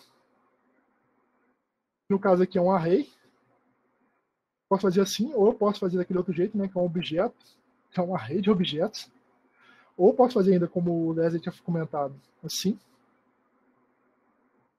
array, tem um ID, que é um número ali no caso. Tem um main, que é o inglês ali, que eu acho que eu nem vou usar, então eu posso nem declarar ele aqui. Description, que é um string. E além disso, eu tenho o meu main aqui, que é o principal que eu, que eu quero, que eu vou querer, que são as temperaturas. Tem um temp, que é um number, e tem o. Vou botar um feels like aqui, que é o, o. a temperatura que eu estou sentindo, né? Que é um number também. Beleza. O que, que eu fiz aqui? Eu declarei um pedaço desse meu objeto aqui. Eu posso declarar tudo? Posso. Mas aqui eu declarei só um comecinho dele, só porque é o que eu quero que a minha aplicação tenha ciência. Assim, é só o que eu quero que ela saiba que existe. Beleza, criei esse API Response aqui. O que eu vou fazer com esse API Response? Eu vou botar no meu estado. Então, aqui no meu estado, tem esses, esses vários valores aqui. Eu vou botar mais um, um, um, um valor aqui que vai ser meu API response. Meu API response, é, qual é o tipo dele? É um API response. Eu falei assim, ó, meu estado vai ter uma, uma, uma variável a mais lá, que é o API response, e o tipo dela é um API response, que eu já tenho isso tudo aqui dentro dele. Beleza, galera? Chegou uma dúvida ali, mas é para o Thiago. Que vai chegar, vai chegar notificações aí para o evento. Vai sim, a partir do momento que você cadastrou lá no, no, no site, do, no, naquela plataforma lá, nesse evento aqui, você vai receber notificação para os próximos, próximos eventos, né, Thiago? É, todo mundo que entrou aqui teve que se, se autenticar e cadastrar lá no, no GDG. Aí, agora teve que ir a dúvida, não sei se, se a pessoa consegue entrar no evento aqui sem fazer parte da comunidade. Eu acho que ela tem que ingressar na comunidade obrigatoriamente. Mas, de qualquer jeito, o, a gente a está enviando também uns e-mails que são os change logs, que a gente manda antes dos eventos, depois dos eventos e tal, que a gente vai avisando dos próximos eventos também. Então, tem o, o, o perfil do Instagram também do GDGJF lá, que tá, a gente está postando lá todo tipo de coisa também. Então, assim, ficar sem informação não tem como ficar, não. Não, chega, chega a notificação sim, porque é, para mim chega a notificação, pelo menos. Eu participei de um, eu participei do evento e começou a chegar dos outros. Mas aí, fica lá de olho também no Instagram, segue lá, que vai mais uma fonte. Aí o que, que eu falei? Eu falei que no meu estado vai ter o API Response. E que, que é a primeira coisa que ele fez quando, ele, quando, quando eu falei, quando eu, quando eu declarei isso aqui? Ele reclamou. Ele falou assim, ó. Aí você vai ver que já começa aqueles erros grandes. O, o você falou, já, o TypeScript eu sempre imaginei meio bravo assim. Ele falou assim, ó, você falou que no meu state ia ter um API Response, mas não tem aqui, ó. Você declarou um state aqui que não tem um API Response. Que é exatamente o que está falando aqui, ó. O API Response está faltando nesse tipo que você declarou aí. Mas no, meu, no seu estado você falou que, que, tem, que tem, tem que ter esse API Response. Então o que a gente pode fazer? Fazer lá a variável do tipo opcional. Fala assim, ó, no meu estado vai ter que ter o tem API Response, mas talvez não tenha. E aí continua reclamando aqui. Não, aí é só um, um delay da ideia aí. Beleza, agora ele, ele parou de reclamar. Ele sabe que o API Response é opcional. Por quê? Porque como é uma chamada assíncrona, a primeira vez que eu, que, eu, que eu tiver no meu estado lá, não vai ter esse API Response. Só depois da segunda vez que vai ter meu API Response. É... Beleza, agora eu tenho o poder de saber no meu estado aqui, ó, this.state.api response. Se eu der um ponto aqui, olha só, eu já sei tudo que tem por causa do TypeScript, tudo que está declarado lá no meu estado. É, como é opcional, provavelmente vocês vão ver que vão cair em alguns casos que não vai, não, ele vai reclamar assim, ó, esse cara aí pode ser não ter um valor definido. Mas o que a gente vai fazer aqui? Eu fiz minha, minha aquisição aqui no, na, na, API e calma que tá esse erro aqui é só um delay da, da, da, da ideia. Eu, eu fiz lá a aquisição na API e tinha dado o console log lá no, no valor. Em vez disso, vamos jogar esse valor para o nosso estado lá, porque agora ele está aceitando o valor. Aqui, não, quem está acostumado aí com a classe, eu dou um set state. Na verdade, faz tempo que eu não dou um set state. Tenho saudade dele. Com o valor do meu. do que eu quero alterar no meu state. Eu, deixa eu só aumentar aqui para vocês, porque ficou. A ajuda aqui está mais atrapalhando que ajudando. O que, que eu vou de, de, declarar lá no meu state? O API response. Ele já sabe aqui, ó, eu posso declarar, por exemplo, erro no meu state. Acho que ele, o erro não sei se está declarado ali em cima. Mas eu acho que ele vai reclamar assim, ó, você está tentando botar seu estado o erro, só que você não falou nenhuma hora que vai ter um erro no seu estado. Aí vão declarar o que, é, o que é, botar aqui o que realmente a gente falou que vai ter no nosso estado. O API response com o meu response. Isso. Nossa. Passamento aqui. Esperar o delay aqui da, da ideia para de reclamar. Ela não vai reclamar mais. Mas, beleza. Lá no meu API Response agora, se eu, se eu, se eu mostrar meu state, vai ter o, o meu, o meu, a propriedade lá vai estar setada lá no meu, meu API Response. Só que Aqui, ó, você pode ver que aqui dentro desse, desse código aqui, ele ainda está achando que, que é um N. Por quê? Porque o meu FET, ele foi lá na outra API e pegou um valor que ele nenhuma hora foi declarado. Como isso aqui é uma função, eu posso declarar aqui, ó, falar aqui, ó, esse cara aqui, ó, é um API response. A API, a API tá assim, né? API, como é que eu declarei aqui em cima? É comunidade é assim mesmo. Só que esse cara aqui é um IP response. O que está reclamado aqui? Do excelente. É... Calma aí que meus erros de português aqui estão tão se acumulando.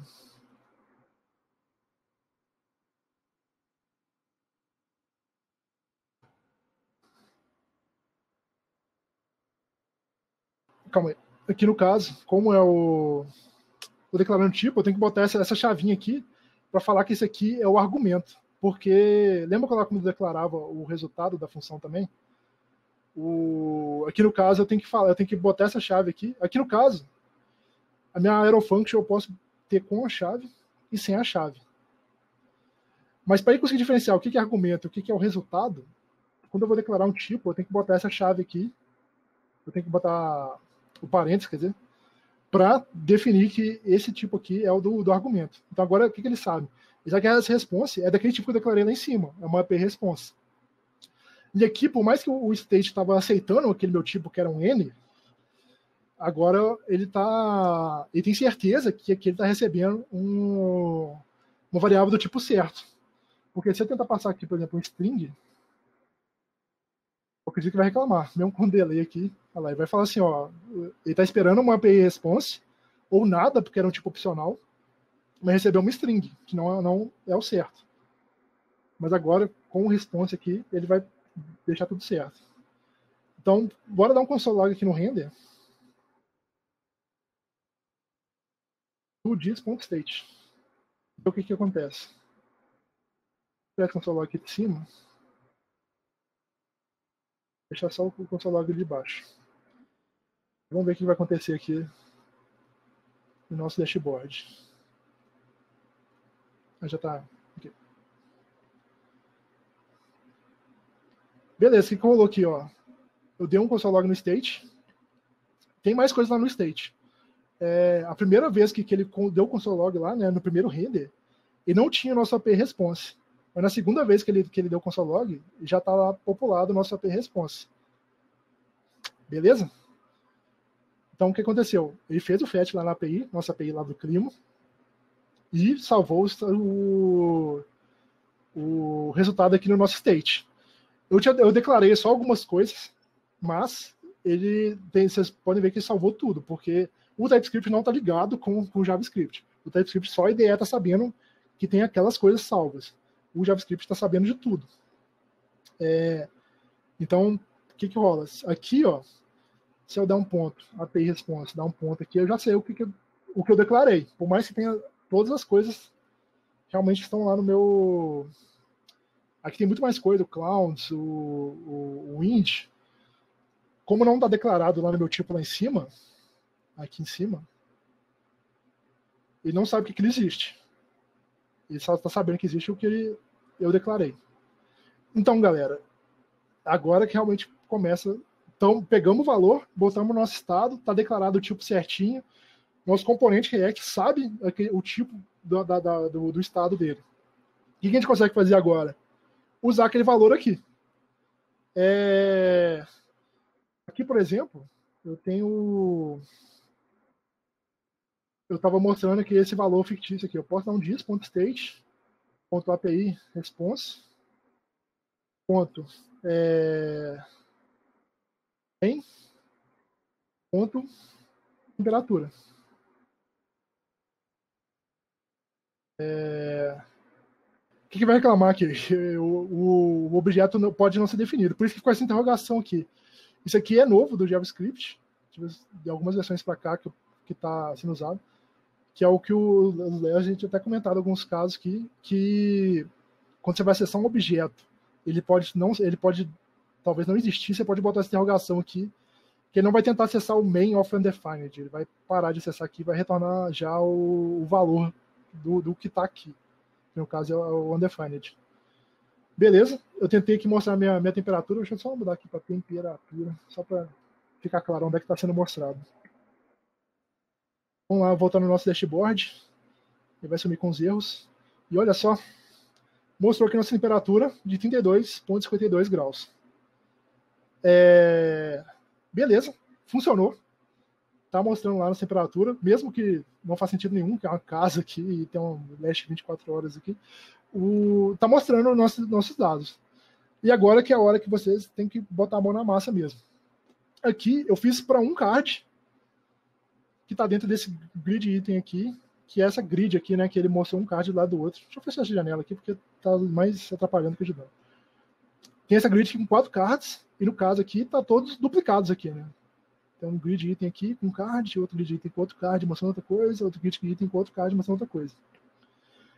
O primeiro desafio aí, até a gente fazer o nosso primeiro nosso encontro aqui, é vocês pegarem esse código, é, é, conseguirem fazer, chegar aqui nesse ponto aqui que eu cheguei, que é botar o, o TypeScript lá, botar a, o request no estado, aí pode ser a API que vocês quiserem, e pegar esse, esse componente aqui de card e realmente transformar ele num componente. vocês pegarem ele, criar um outro componente aqui do lado de fora. O, aqui na pasta components, já tem vários componentes aqui. Ou em algum outro lugar que vocês acharem melhor, melhor. Criar um componente lá e passar esses dados aqui como props para ele. E aí tem algumas pegadinhas aqui, que é esse aqui, né, o componente aqui desse esse cardzinho aqui, esse aqui que é diferente para cada um, e botar as informações que vocês quiserem. Beleza, galera? O, o Guilherme está perguntando se eu vou subir esse código para o GitHub. Geralmente a gente tem o costume de subir mais no final do dia, mas como está aqui bem a base zona mesmo, eu posso subir no branch lá para vocês, pra vocês darem uma olhada, já com, com o que eu fiz aqui. É, o Barack fez o projeto quase todo já aqui. se ele subiu. Não, assim, ele, eu também acho que ele pode subir numa branch, porque aí quem quiser ir lá e, e se, se é, olhar como referência é bom, né? E, assim, a chance de alguém fazer tudo fácil, de primeira, sem, sem, sem erro, sem dificuldade, sem agarrar, é microscópica, assim. É, vai ter que dar problema, vai dar erro na hora de rodar, vai dar erro na hora de obter o dado, o dado da API você vai obter e não vai saber em que lugar que está dentro do, do, objeto que chegar. Vão ter várias coisas acontecendo aí que vocês vão passar por isso aí, mas é isso aí que tem que acontecer mesmo, tem que, tem que praticar. Aí o Barack pode passar, mandar esse código lá para um branch, sim, com certeza. Mas aí o importante é, é mandar brasa mesmo aí na, na, na, no projeto. Aí o Vinícius mandou ali que uns erros de NPM e tal. Isso aí a gente vai dar suporte lá pelo, pelo canal do Slack. Até porque já estamos chegando perto de duas horas aqui, era para ser uma hora, uma hora e pouco, já estamos perto de duas. Aí, mas isso é de boa de resolver, Vinícius. A gente te ajuda lá a, a, a desagarrar. Aí, moçada, vamos para o Slack. Baraca, alguma coisa mais? Leslie, alguma coisa mais? Esse erro do Vinícius aí eu vou conferir aqui, porque eu acho que tem, tem relação com a versão do Node. Eu vou dar uma é, Lá no, no, próprio canal do TypeScript tinha, alguém reclamou desse erro aí da vez passada. Lá, tem, lá já, até, já até tá a solução lá, eu acho. É, é, aconteceu comigo aqui também alguma hora, aí talvez aconteceu comigo o contrário. Então vou, vou, conferir aqui. Pessoal, a gente vai fazer do, do final de semana aí, a gente vai pensar ainda uma promoção para poder a galera concorrer a uma canequinha de JavaScript aí, ou uma canequinha de TypeScript, ou uma canequinha de React. Aí a gente vai bolar aí qual vai ser o desafio. A gente já vai escolher a canequinha. É, vai ser um desafio, com certeza. Vai ter que fazer código, implementar alguma coisa, vai ter, vai ter que usar. Vai, não vai ser só sortear quem está participando, não. Alguém vai ter que ir lá e fazer algum código, algum commit e tal, para daí quem tiver, quem, quem fizer o que a gente, a gente sugerir, a gente sorteia uma, uma caneca dessa ainda, vai com um adesivinho de programador junto aí. Beleza, então, moçada? Beleza. Show? Então, valeu. Barack mandou bem demais, falou pra caramba. Não bebeu nem, é. nem um nada, hein, Barack? Desculpa aí, galera, eu falei demais. Não, mandou bem. Muito bom, cara, mandou bem. Falou tudo. Mas, é... É, o Igor perguntou aí qual é o link do Slack. Lá no README tem. O... Acho que no e-mail do Thiago também tem. Mas se você dá uma olhada no README, além de ter o link, tem lá um, tutorial, mini tutorial de como entrar no Slack.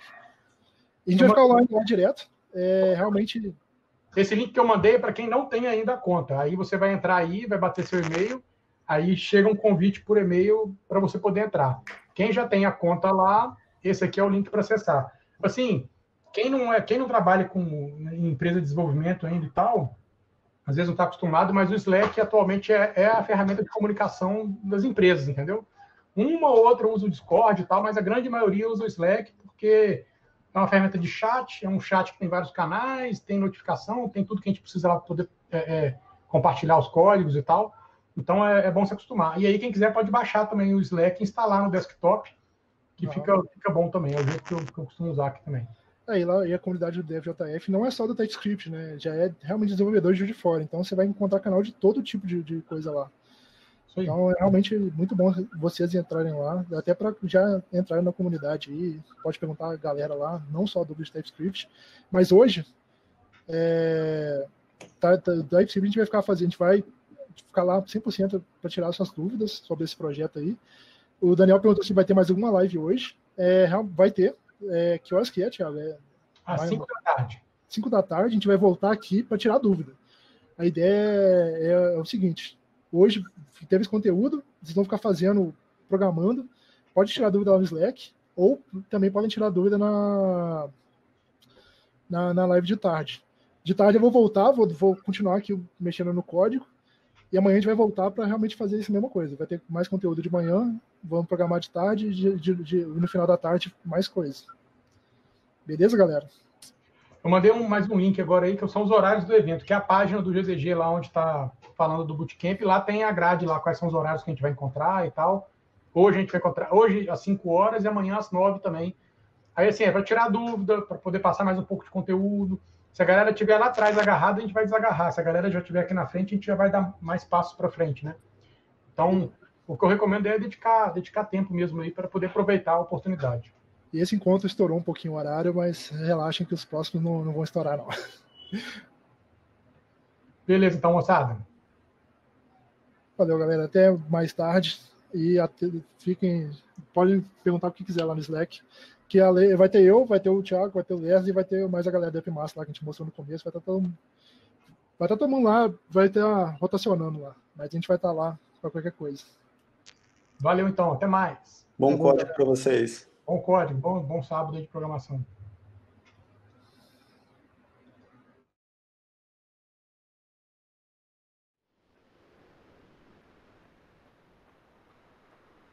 Enquanto a galera tá chegando aí, alguém quer falar aí como é que foi, que já fez o que, que vocês já fizeram? Já até onde que, que eles conseguiram andar? Eu tinha comentado de, de, de, brincar com o componente aqui de cima, a galera tudo já, já pulou pro componente de baixo. Acho que ele é mais legal mesmo. Compartilhem seus sucessos e fracassos. É, eu tava fazendo esse do Daily Sales ali, ó, e eu agarrei foi a questão da, da legenda, cara. Eu consegui pegar os dados, puxar direitinho, só que eu acho que é uma coisa boba ali. Ele parece que ele tem um array dentro de um array para montar. Quando ah. eu, eu, exibo no console, eu pego o array que está lá e coloco, ele funciona. Mas quando eu estou dentro do, do, componente em si, ele não, ele não aparece. É, vamos dar uma olhada aqui. Acho que ele, ele tem um array dentro do array porque ele permite fazer vários gráficos aqui, né? Você pode botar várias linhas juntas aqui para comparar elas. Aí no caso que ele tá todo, todos ele tá botando uma linha só, mas eu acho que tem como você fazer um array de arrays, que você bota uma linha, bota outra linha, bota outra linha. Uhum. É, vamos fazer aqui então. É... Vou partir então para essa ideia aí. Aí vou pegar, fazer essa, tentar aqui, dar uma olhada aqui nesse cara aqui de baixo. E qualquer coisa a gente, se sobrar um tempinho, a gente pulando de cima ou deixa de cima para amanhã. É... Eu tava até conferindo aqui, porque um cara que pode ajudar muito, pelo menos todo mundo acha que fez aí usando o, o do tempo, né? Pelo menos os exemplos que vocês mandaram lá no, no chat eram todos do, a mesma API lá do tempo. O, eu não sei como é que vocês fizeram. O, esse endpoint que eu tinha botado aqui, ele era de fazer a requisição de um dia só. O, ele tem um endpoint lá que ele faz requisição de vários dias. De várias horas, na verdade. Eu não, não sei se vocês fizeram várias chamadas nesse cara aqui, ou se vocês fizeram a chamada no outro endpoint lá. Nesse exemplo que eu, que eu agarrei, eu peguei um que ele tem vários. Aí a ideia era pegar vários dias com temperaturas para poder montar, né? Aham. É, eu tenho outro endpoint aqui, talvez é o que você pegou aqui, que é esse aqui do, do forecast, que ele, ele manda uma lista, né? Com acho que é cinco dias para frente, com de 3 em 3 horas. Esse aí. Tem um de 1 em 1 hora e tem um de 3 em 3 horas. Eu acho que de 1 em 1 hora vem bastante dado. Esse que vem um pouco menos de dado. Acho que vai ficar até melhor para encaixar ali no gráfico. Vou tentar fazer com esse endpoint aqui então.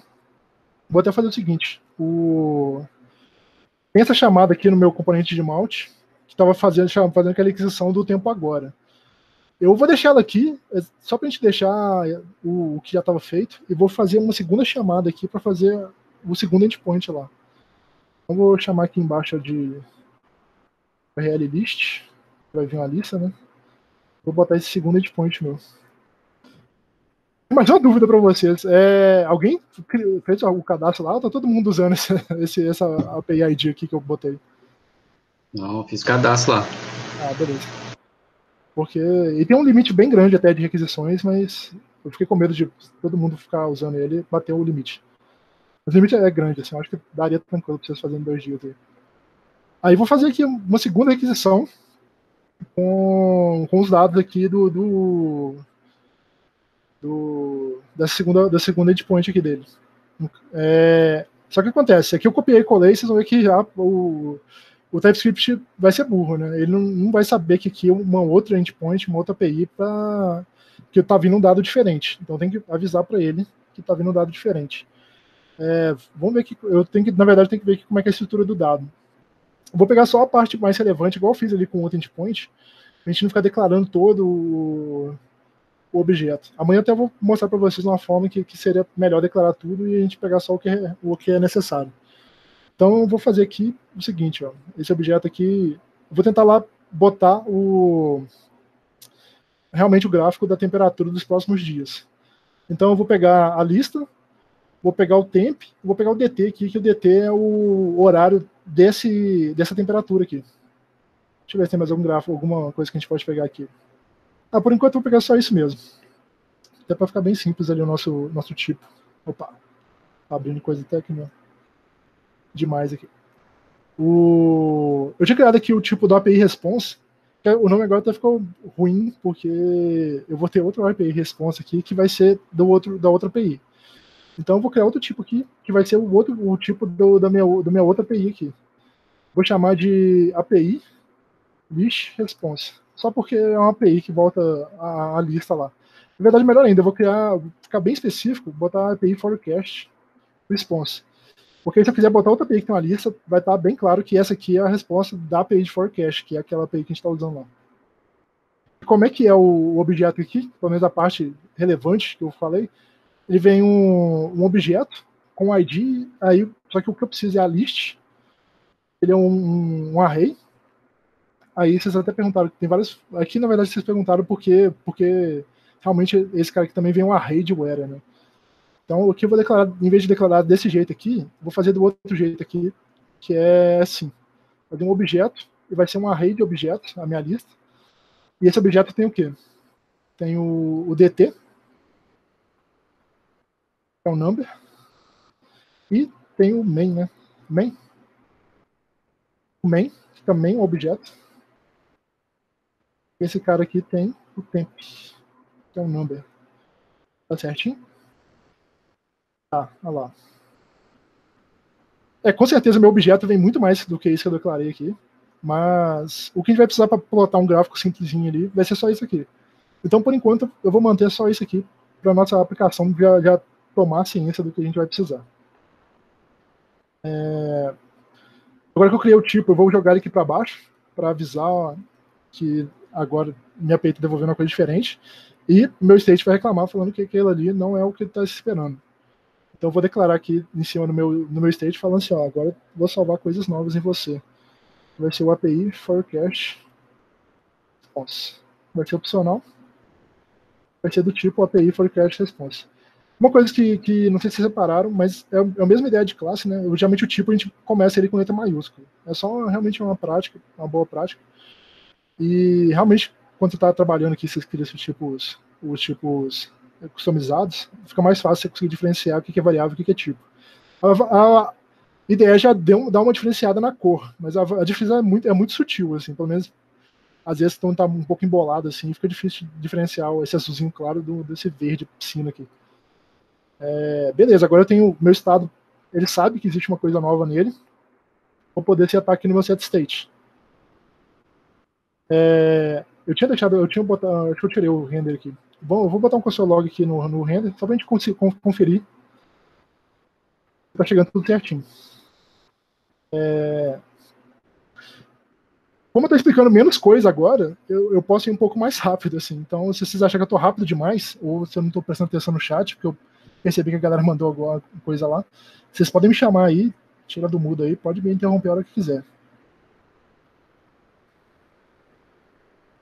Tá tranquilo, Barak. Acho que o tempo tá bom.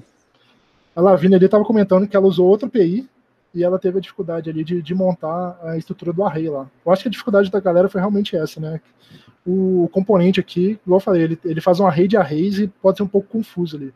Então vamos ver se a gente consegue montar aqui do jeitinho que, que vai ficar mais claro aí, não só para essa API, como as outras ali. É... Deixa eu abrir aqui e voltar na nossa aplicação.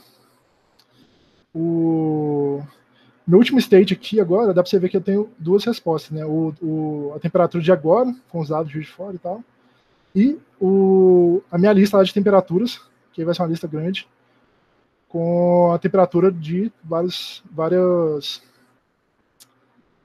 vários dias aí para frente.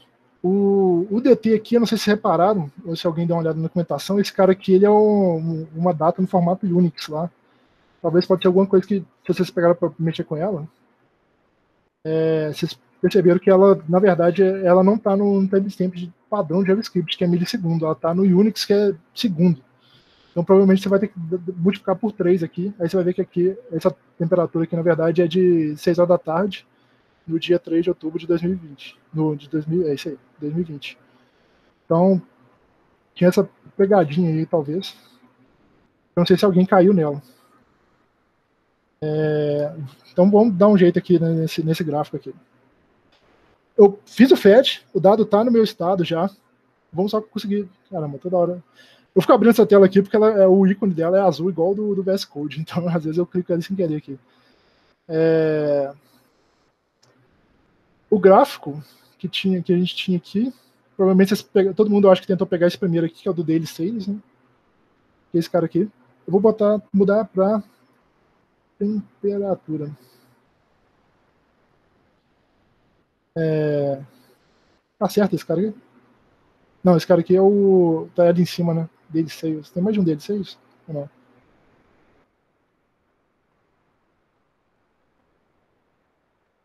Esse cara aqui. Está certo, né? É isso aí. É, esse aqui é um componente do, do dashboard que a gente pegou, que ele faz aquele gráfico lá. O que embolou um pouco é realmente o jeito que ele passa os dados. O, o TypeScript até ajuda um pouco. Se você passar aqui o mouse, você consegue ver o, o, a estrutura do dado que ele está passando aqui para o nosso componente, que é um array de labels, que é string. O labels é exatamente uh, o rodapé lá, né? A, o, as colunas ali do gráfico. E o series é um array de arrays, que eu acho que dá mais confusão de números. Ele faz o array de arrays que eu acho que realmente é porque ele tenta. Dá para você passar vários arrays para ele, para ele botar várias linhas simultâneas lá. Então vamos pegar o dado que a gente tem ali e vamos deixar nesse formato aqui. É, a gente pode fazer direto aqui, mas eu vou fazer aqui em cima só para ficar mais separado aqui. Eu acho que vai ficar melhor para vocês verem. O É, uma variável aqui, que vai ser o que vai passar lá para o nosso const. É, temp chart. Vai ser um objeto lá com labels, que vai ser um array, né? E o, o meu. Como é que é, qual, qual o outro? O outro lá mesmo? É o. Sirius. Não sei, Sirius séries. Vai ser um array de array. É... Aqui no meu estado, eu já tenho um... esses dados. Então eu só tenho que conseguir traduzir para esse formato dele aqui. O... o labels, que já pode ter gerado uma confusão aí, eu posso fazer o seguinte. O... Aqui, ó, eu estou até desconstruindo meu estado aqui, mas eu vou fazer aqui embaixo, porque eu acho que vai ficar mais simples. Vamos fazer aqui em cima. É... Deixa eu pensar aqui como é que a gente pode fazer. Vou fazer o seguinte, eu vou fazer, em vez de declarar aqui o meu, meu, meu como const, vou declarar como let, só para ele ter um valor inicial aqui, e vou falar com ele que esse cara aqui, ele é do tipo, aquele tipo lá que, que, que tá esperando. Ele é um labeled. Que recebe um array de, de, de, de. E é um series recebe um, no caso, como se fosse uma matriz né, de números, um array de array de números. O, aqui, no caso, vou declarar assim, vai ficar vazio aqui. E vou pegar esse temp chart aqui e já vou passar lá no, no meu cara lá de baixo. Lá em. Tô perdendo toda hora o nome dele, que é o. É, vou chamar ele de temperatura, né? Temperatura.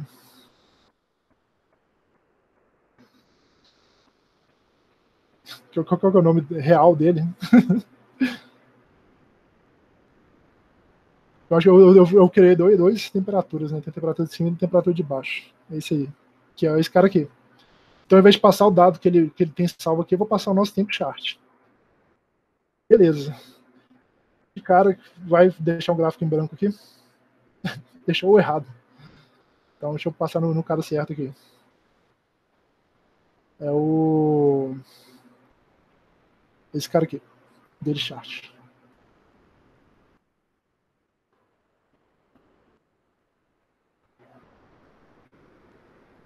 Beleza, agora tô com o gráfico em branco aqui. Vamos popular os dados com o que veio da API. O... Eu fiz isso aqui só porque o, esse, o primeiro render que vai rolar aqui no React ainda não vai ter feito o request na API. Então os meus dados vão tá, não vão estar tá disponíveis. Vamos fazer um if aqui para popular esses dados aqui. É... Aqui vocês vão perceber que quem já está trabalhando com React aí, que nada impede de eu pegar esse dado aqui e já salvar no meu estado nesse formato, ou fa fazer essa, essa lógica aqui do lado de fora, que até é uma prática melhor do que eu vou fazer aqui. Eu posso fazer isso aqui direto aqui. Eu vou fazer aqui porque aqui eu vou ter um pouco mais de liberdade para a gente trabalhar nesse dado aqui. O... Então, se eu tiver disponível os dados aqui do, do forecast response, eu vou setar eles aqui na minha variável do temp chart. Como é que eu vou fazer isso aqui? O labels. É, o labels tem vários jeitos de eu fazer. O, o próprio lá, o próprio o próprio, o próprio, o próprio array lá da lista já volta os nossos valores aqui do, do que eu posso botar lá embaixo, né, que são as datas. Então eu vou usar esses valores para gerar a label. Eu tenho, então eu vou usar o Acho que vai ficar melhor de estruturar esse cara aqui, que eu acho que vai ficar ocupando menos espaço de tela aqui. Vou botar aqui em cima, ao invés de acessar o dis.state, eu já destruturei aqui o, o API forecast do state. Aí eu vou direto aqui no, no, no API forecast. Então, API forecast, ponto list, é, é esse cara que eu tenho disponível. O cara aqui já é um array. Então, o que eu vou fazer? Eu vou dar um map nele, para ele para varrer cada número, cada item dele para gerar a nossa legenda ali embaixo. O... Então aqui eu tenho um item do meu array. Vou fazer com esse. O que, que esse item tem disponível aqui para gente? O main e o dt. O dt já é o, o, tempo que foi pego aquele, aquele item do nosso array. Então eu vou usar o dt aqui para mostrar lá nas nossas labels. O dt é aquele númerozão lá de segundos desde 1970. Então não vai ficar muito claro botar ele. Uma coisa que a gente pode usar é transformar ele em data, numa data mesmo. O, um pacote que está instalado aí, até no. já direto no package aí, é o Moment. Ele é muito bom para manipulação de data. Então eu vou usar ele aqui só para deixar ele no formato é, humanizado, a nossa data lá do, do, das nossas labels. Então, em vez de usar jogar o direto DT, eu vou dar um moment, transformar aqui no DT. Eu acho que o moment não vai aceitar o segundo direto aqui. Eu vou transformar ele para milissegundos. Na verdade, ele deve aceitar se eu passar alguma propriedade aqui para ele, mas aqui vai ser mais fácil. E eu posso dar o format, falar como é que eu quero a minha data. O, o format, que no caso, é passa um string. Deixa eu quebrar uma linha aqui que eu acho que vai ficar mais claro para vocês. Na verdade, o que ficou pior, assim, por enquanto. É, aqui é o formato que eu quero ali embaixo. Eu vou botar, acho que o melhor formato que a gente pode botar ali, para ocupar menos espaço, é o dia e o mês. Eu vou botar assim por enquanto, a gente vê se, se vai ficar muito, muito cheio.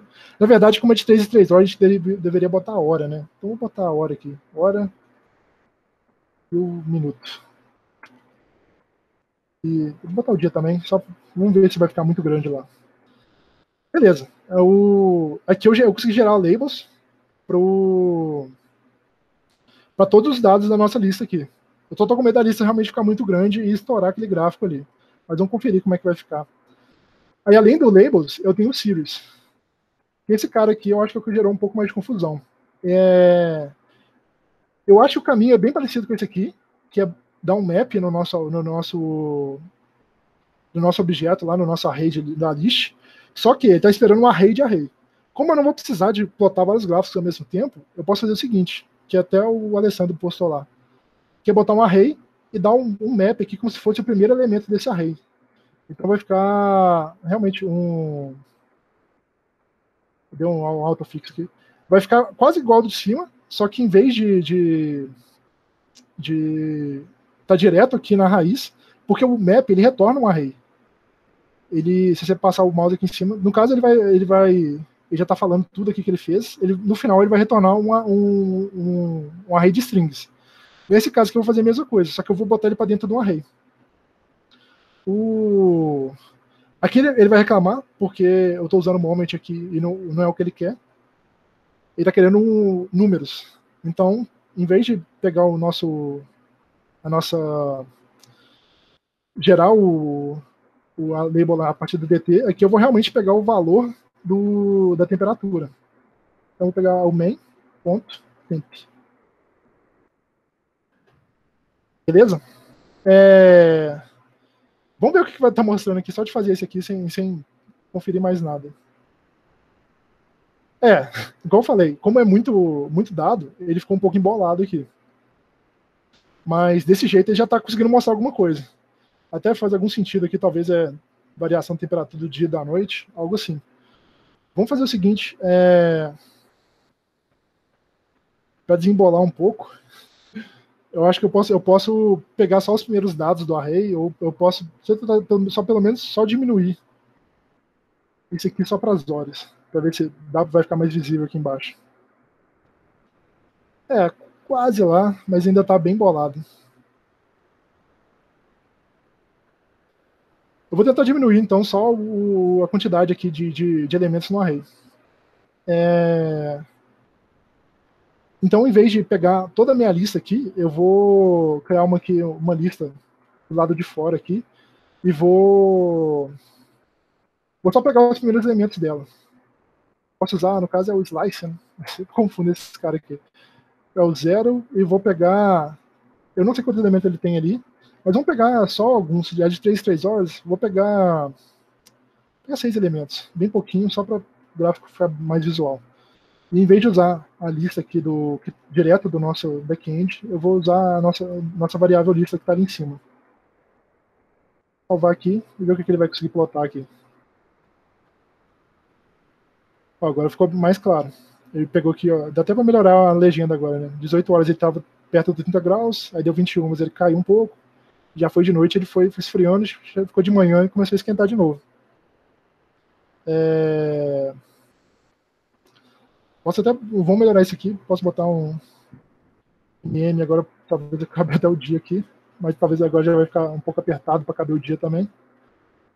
É, dia, dia 3, que é hoje, daqui a pouquinho vai estar 30 graus, já está pegando para. Na verdade, hoje, hoje é, dia, é, hoje é dia 3. Então, dia 4 já está mostrando outras coisas aí. É...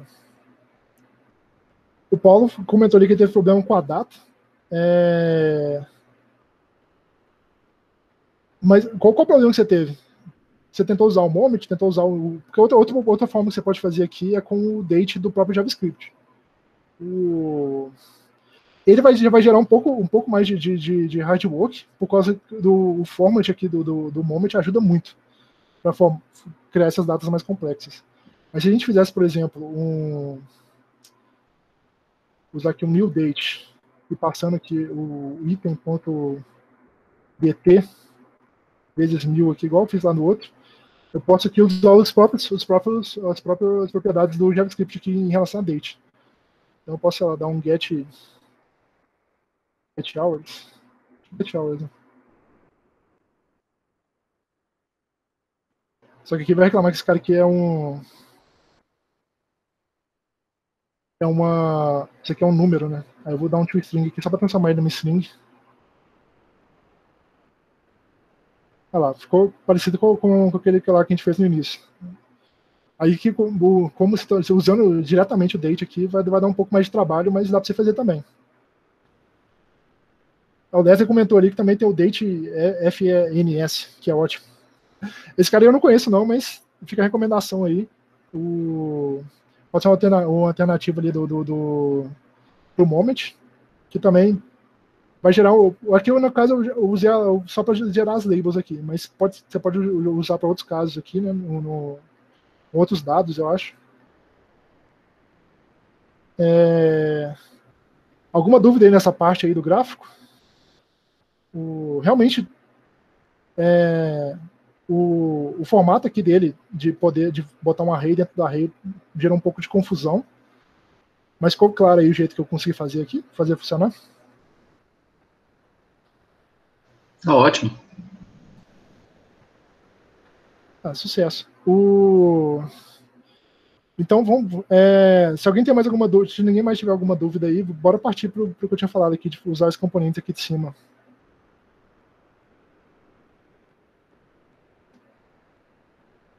É, então, simbora. Todo mundo caladão aí. O... Mas agora que eu fiz para um gráfico, nada impede vocês fazer é, chamarem outro endpoints lá e tentar plotar aqui, ou até extrapolar aqui esse dado, né, poder selecionar dias, por exemplo, e plotando dias diferentes, ou até aproveitar que ele devolve vários dias e plotar vários dias aqui é, é, é embolado, você pode fazer os vários dias, cada um sendo uma linha aqui, e a pessoa poder comparar, algo do tipo. É, mas vamos fazer aqui a segunda parte aqui, que é a parte ali de cima que o desafio era exatamente pegar esses cards, que eram vários separados aqui, e transformar num componente só. Vamos fazer isso aqui na, na aba componentes aqui.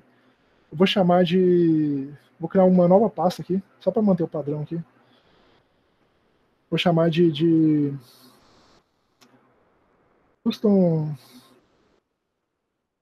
É, dashcard. No caso, ele estava chamando direto o, o nome do componente ali. Vou criar um novo arquivo aqui, mesmo nome.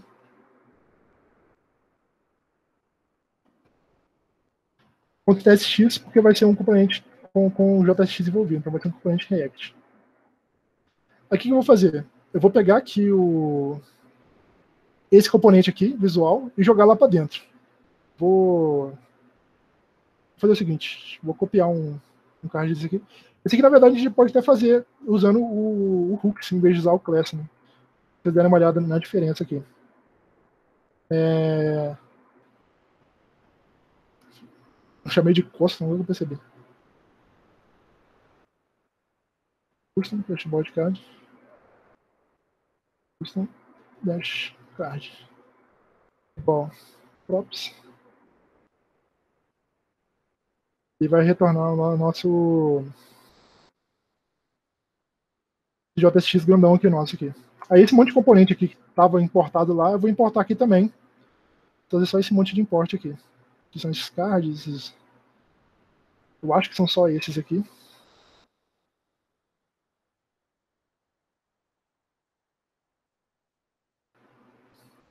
Deixa eu ver se ficou faltando alguns, sobrando algum ficou. Ficou.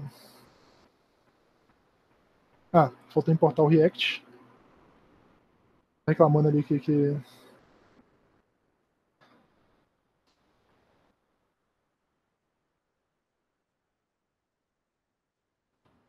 Aí tem uns ícones aqui, né? o Story ali.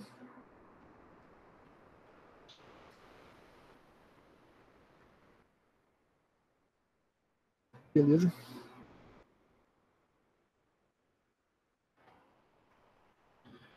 E essas classes aqui, ele estava vindo do props aqui do, do cara de cima, né?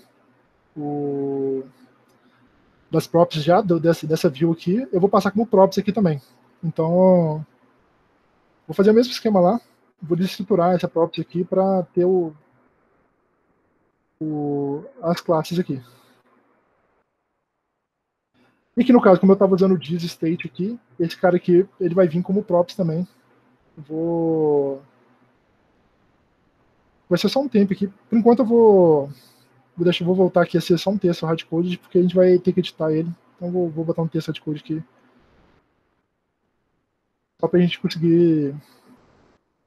A vai dar uma editada aqui, a gente pode voltar com os valores depois. Além disso, tem esse outro componente aqui, que é o data range.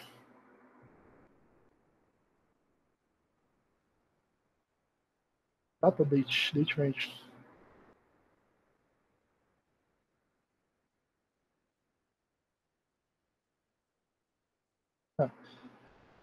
Beleza. É, esse aqui é um componente de React normal, assim, não, não vai ter nada demais. Ele vai estar reclamando de algumas coisas aqui. Uma que eu não estou exportando ele, né? Posso até exportar aqui uma vez. A outra é que, a, como ele sabe que eu estou usando o JavaScript, o TypeScript, ele está reclamando que esse cara aqui está tá implicitamente declarado como N.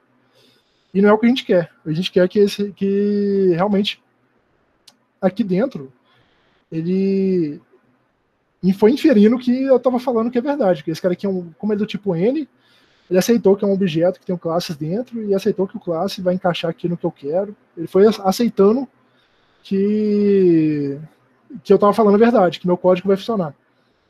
E que é o, o, o JavaScript comum vai fazer. Mas não é o que a gente quer. A gente quer realmente que esse componente aí faça o. tenha certeza do que ele está fazendo. Então vamos adaptar ele aí para usar o, o TypeScript. Deixa eu só dar uma conferida aqui. Beleza. É, vamos fazer aqui no mesmo esquema lá do, do, do, outro lá.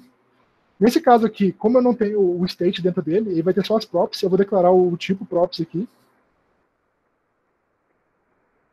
Vou falar o que, que vai vir no meu, lá no meu, nesse cara aqui. O, que no caso é só o class aqui. Uma coisa que a gente pode fazer é, como esse, esse, esse tipo está tá, tá declarado aqui, é, eu posso aproveitar ele. Por exemplo, aqui eu tenho a props no meu dashboard, em vez de chamar ele só como props, eu posso falar assim, ó, dashboard.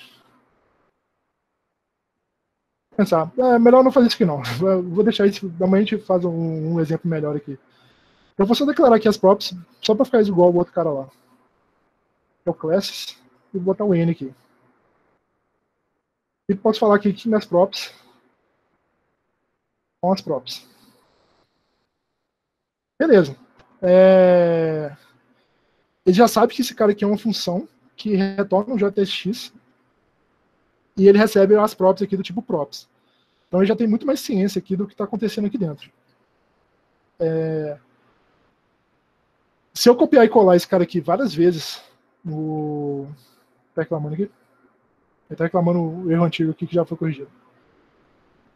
Se eu copiar e colar várias vezes esse cara aqui no meu, no meu dashboard lá, vai funcionar, só que vão ficar todos iguais. Então tem alguns dados que a gente quer diferenciar de um, de um para o outro aqui. Ele está reclamando, ele tá reclamando realmente de uma parada que já, já, já foi corrigida aqui. Posso até rodar aqui de novo aqui para ver se ele para é um loop aqui de, de, de, meio estranho. Tem algumas coisas. Porque vamos, vamos esperar abrir o card aqui. Porque naqueles casos ali de cima tem algumas coisas que são diferentes de um card para o outro. E que é exatamente o que vai chegar na props. Porque aqui na, na props, a única coisa que está passando aqui é o, é o class names aqui que está definido nesse, nesse objeto classes aqui. Que nem foi eu que criei, ele é do próprio, do próprio componente aqui do nosso dashboard. É... Vamos fazer o seguinte, então. O que é diferente aqui de um componente para o outro? O título, aqui do, do, do, card, o valor dele, né? Que no caso aqui é um número, mas eu posso falar que é uma string, porque pode ser uma string um pouco mais complexa. Esse cardzinho aqui, né? Com, com fundo aqui de uma cor e um símbolo. E esse componente aqui de baixo, que é esse rodapé aqui, que ele é um pouco diferente de, de cada um. Ele tem um ícone, um texto, mas eu posso declarar como um componente só. Então vamos fazer o seguinte, vamos declarar isso tudo aqui na minha props fala assim, ó, meu componente vai ter essas props aqui que vão chegar para ele. É, primeira coisa que vai chegar, o título ali, que é a temperatura aqui no caso, falar que é uma string.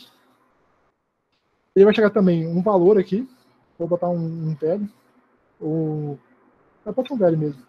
Eu, eu, eu, como eu falei, é um, aqui no caso é um número, mas eu vou falar que é uma string, porque só para realmente pegar aqueles tipos complexos ali. E aqui eu tenho esse, esse rodapé aqui. E tenho esse card icon aqui, que ele tem uma cor diferente e um, um, um ícone dentro dele.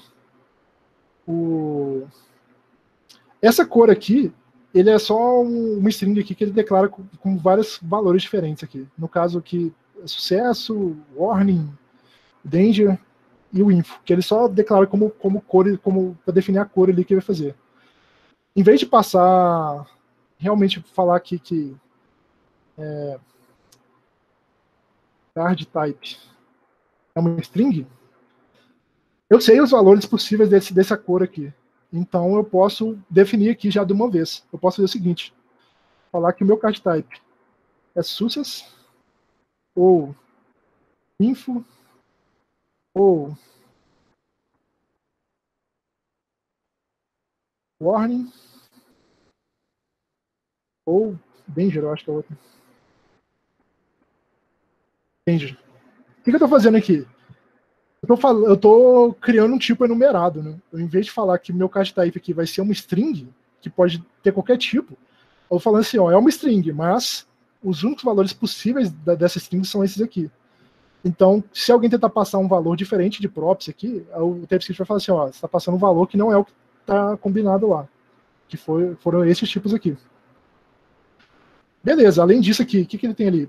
Um, um ícone aqui, que no caso é esse store, ícone.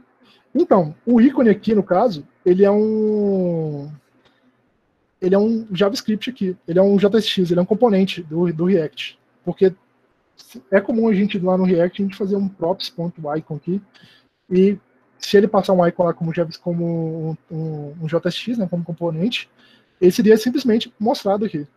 Mas como é que eu declaro esse tipo aqui? É, o próprio React ele disponibiliza os tipos internos dele para como tipos aqui que a gente pode usar. Então eu posso falar que esse esse esse, esse ícone aqui é um, um, um elemento React, que é um React element. Ele vai entender que se eu passar com props, esse cara aqui está esperando que seja um React element.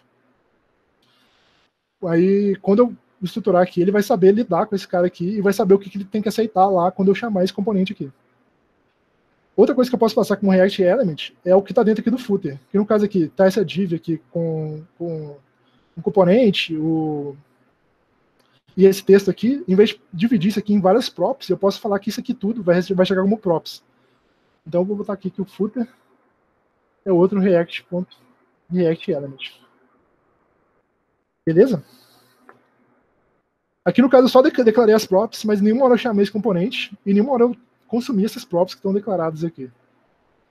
Então, bora começar a consumir. Porque agora, se eu conferir aqui meus props, ele vai saber tudo que está dentro dele, ele vai saber o que, o, que esperar desse prop aqui. Então, vou dar um props ponto aqui. Ele sabe que tem o card type, que tem o classes, o footer, o icon, o type e o value. Então vamos começar a botar eles aqui no, no, nos lugares aqui que eu tenho aqui. É, o meu color aqui é o card type ali, né? props.card type. O, que também é o, o, o tipo ali do, do, do card icon. O meu icon aqui vai ser o icon aqui de cima. Então vai ser o props.icon. O, esse cara aqui vai ser o nosso props. Python. Só organizar aqui. Na acabou pulando de uma linha para outra aqui. Arrumado. Esse cara aqui é o velho, que eu combinei ali de botar aquele valor grandão lá. Props.velho. O, e aqui esse cara aqui todo, eu, eu combinei de ser o props.footer. Posso tirar esse cara aqui. Beleza, agora esse componente aqui está genérico, ele tem os tipos declarados aqui, ele sabe o que esperar nesse componente aqui, e ele já está tá tipado, está certinho para a gente já começar a usar ele. Beleza? Bora então importar esse cara aqui, que agora que eu percebi que o nome está todo errado aqui, está invertido. Deixa eu só arrumar aqui.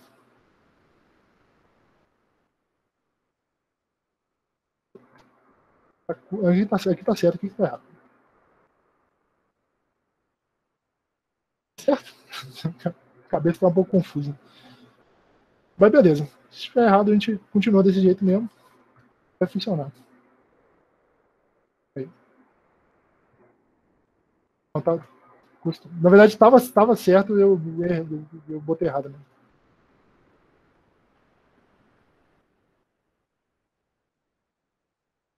Beleza, agora tá tudo certo.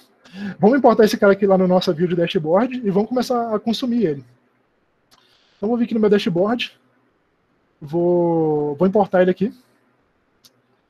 Tirar esse import aqui do moment que, que eu não estou usando mais.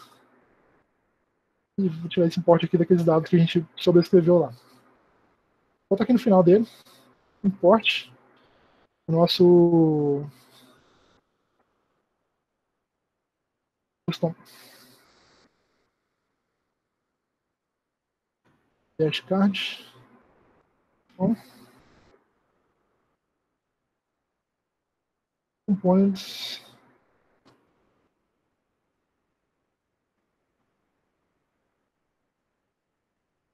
Beleza, importei aqui. Ele só está falando que não está sendo usado. Vamos descer aqui no nosso, no, no, nosso código aqui. Vamos botar ele aqui. Esse card aqui, ó, esse primeiro card aqui já é ele. Então, vamos substituir aqui. Exatamente aqui, ó, já começa no card. Vamos botar aqui, ó, pegar esse card aqui e botar ele no lugar. Para não gerar confusão, vamos manter, vamos manter aquele cara ali, vamos só duplicar ele aqui em cima, que a gente começa a usar ele aqui. Para manter só os, os valores que a gente já tem ali. Ao invés de botar o card aqui, vai tá certo. Vamos botar o nosso custom card aqui. E vamos deixar ele prontinho aqui. É... Beleza. Uma coisa aqui que, que já vão reparar. Ele não, não tá reclamando de nada aqui. Até estranho aqui. Por, por causa de alguns detalhes. É... O nosso componente aqui, ele é uma, uma função que está retornando um JSX. Mas como é que ele sabe que está retornando JSX? Ele inferiu que está retornando JSX pelo retorno aqui. O... Ele não sabe que isso aqui é um componente React, ele só sabe que é uma função que retorna JSX. E, incrivelmente, a gente botou um props aqui e... E com essa props a gente gerou o resto aqui. Então, se eu chamar ele aqui como uma função mesmo,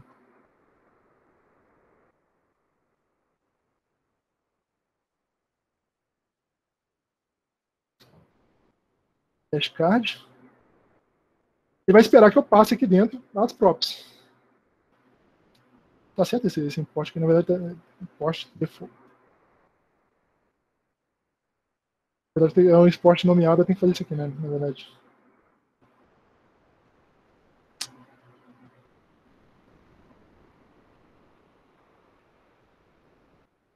Beleza? Agora ele chegou aqui certinho, ele vai falar assim, ó, esse cara aqui tá, tá esperando a props que não recebeu. Então, eu teria que passar as props aqui com ele. Tá, deu um Ctrl Z aqui. No caso do, do, do componente,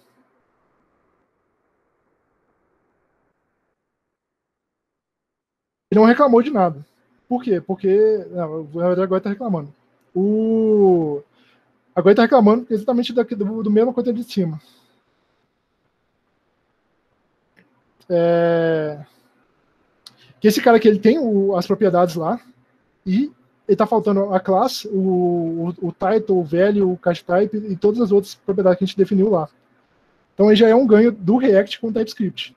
Eu declarei um, um componente aqui e ele já me avisou todas as props que estão faltando lá. E ele vai avisar também que eu estou passando o, uma props de um tipo errado ou alguma props que, que de um jeito que ele não está esperando antes, quem está acostumado aí com o comecinho do React, do React, a gente tinha o prop types lá. Que era exatamente uma forma que o React tinha de garantir isso aí.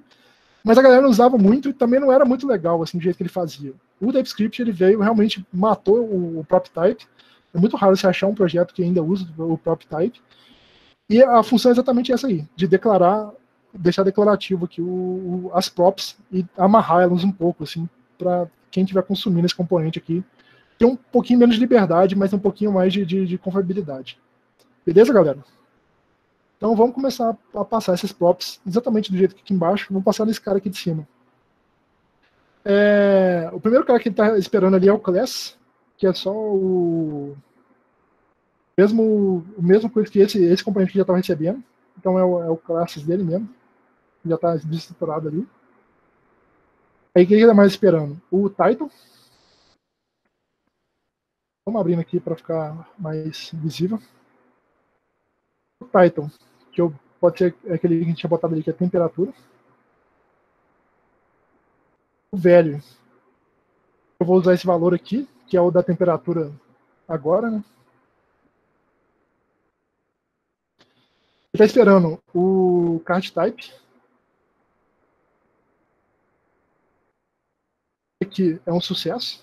Pode ser um sucesso também que tá reclamando aqui? Ele tá reclamando que que esse cara aqui ele é um número ou uma um número ou uma ou undefined, né, por causa do que tem a interrogação aqui. E lá eu tinha falado que ia passar uma string. Então eu falei assim, ó, você está passando um tipo errado. O que a gente pode fazer aqui? Um, é... que não, não é muito recomendado. Eu posso dar um cache aqui, falar que esse cara aqui é uma string. Eu acho que ele vai, vai aceitar aqui no caso, porque não, ele não vai aceitar. Eu, eu, ele não vai aceitar porque ele vai falar que não tem como converter o número numa string. Eu acho que se fosse alguns casos ele deixa fazer isso, mas aqui no caso ele não deixou. Eu posso dar um. Eu posso simplesmente realmente fazer o que eu estava querendo fazer, que é deixar esse valor aqui mais humanizado. Né, do, porque lá eu estava mostrando só a temperatura de um jeito. jogando ela lá com o valor que estava vindo aqui que eu vou fazer aqui é botar aqui, escrever alguma coisa aqui, botar graus. E realmente esse, esse valor aqui vai virar uma string. E aí o meu componente vai parar de reclamar. O que mais que eu tenho que passar aqui? O ícone. No caso, era o store aqui. Que não é o melhor ícone, mas era o que estava. Provavelmente vocês conseguem um ícone de, de um termômetro. Eu acho que nenhum daqueles ícones ali é um termômetro. Então seria o ideal. E o footer, que eu acho que é a última coisa que está faltando, que eu também vou copiar aqui de baixo. Essa div aqui com, com as classes, os dados ali de baixo. É... Aqui no caso, a gente pode botar outras informações aqui, talvez fonte, botar OpenWare. Realmente tem uns dados mais menos fictícios. Né? Então, essa, agora que eu copiei tudo aqui desse cara aqui, que era meu exemplo, eu vou tirar ele daqui. Beleza. Agora, ele, eu passei todas as props, ele parou de reclamar. Ele falou assim: agora tá tudo ok. Vamos ver se, se ele vai realmente botar aqui certinho o nosso, nosso dado ali, o nosso cardzinho que a gente fez lá. Beleza, tá certinho aqui.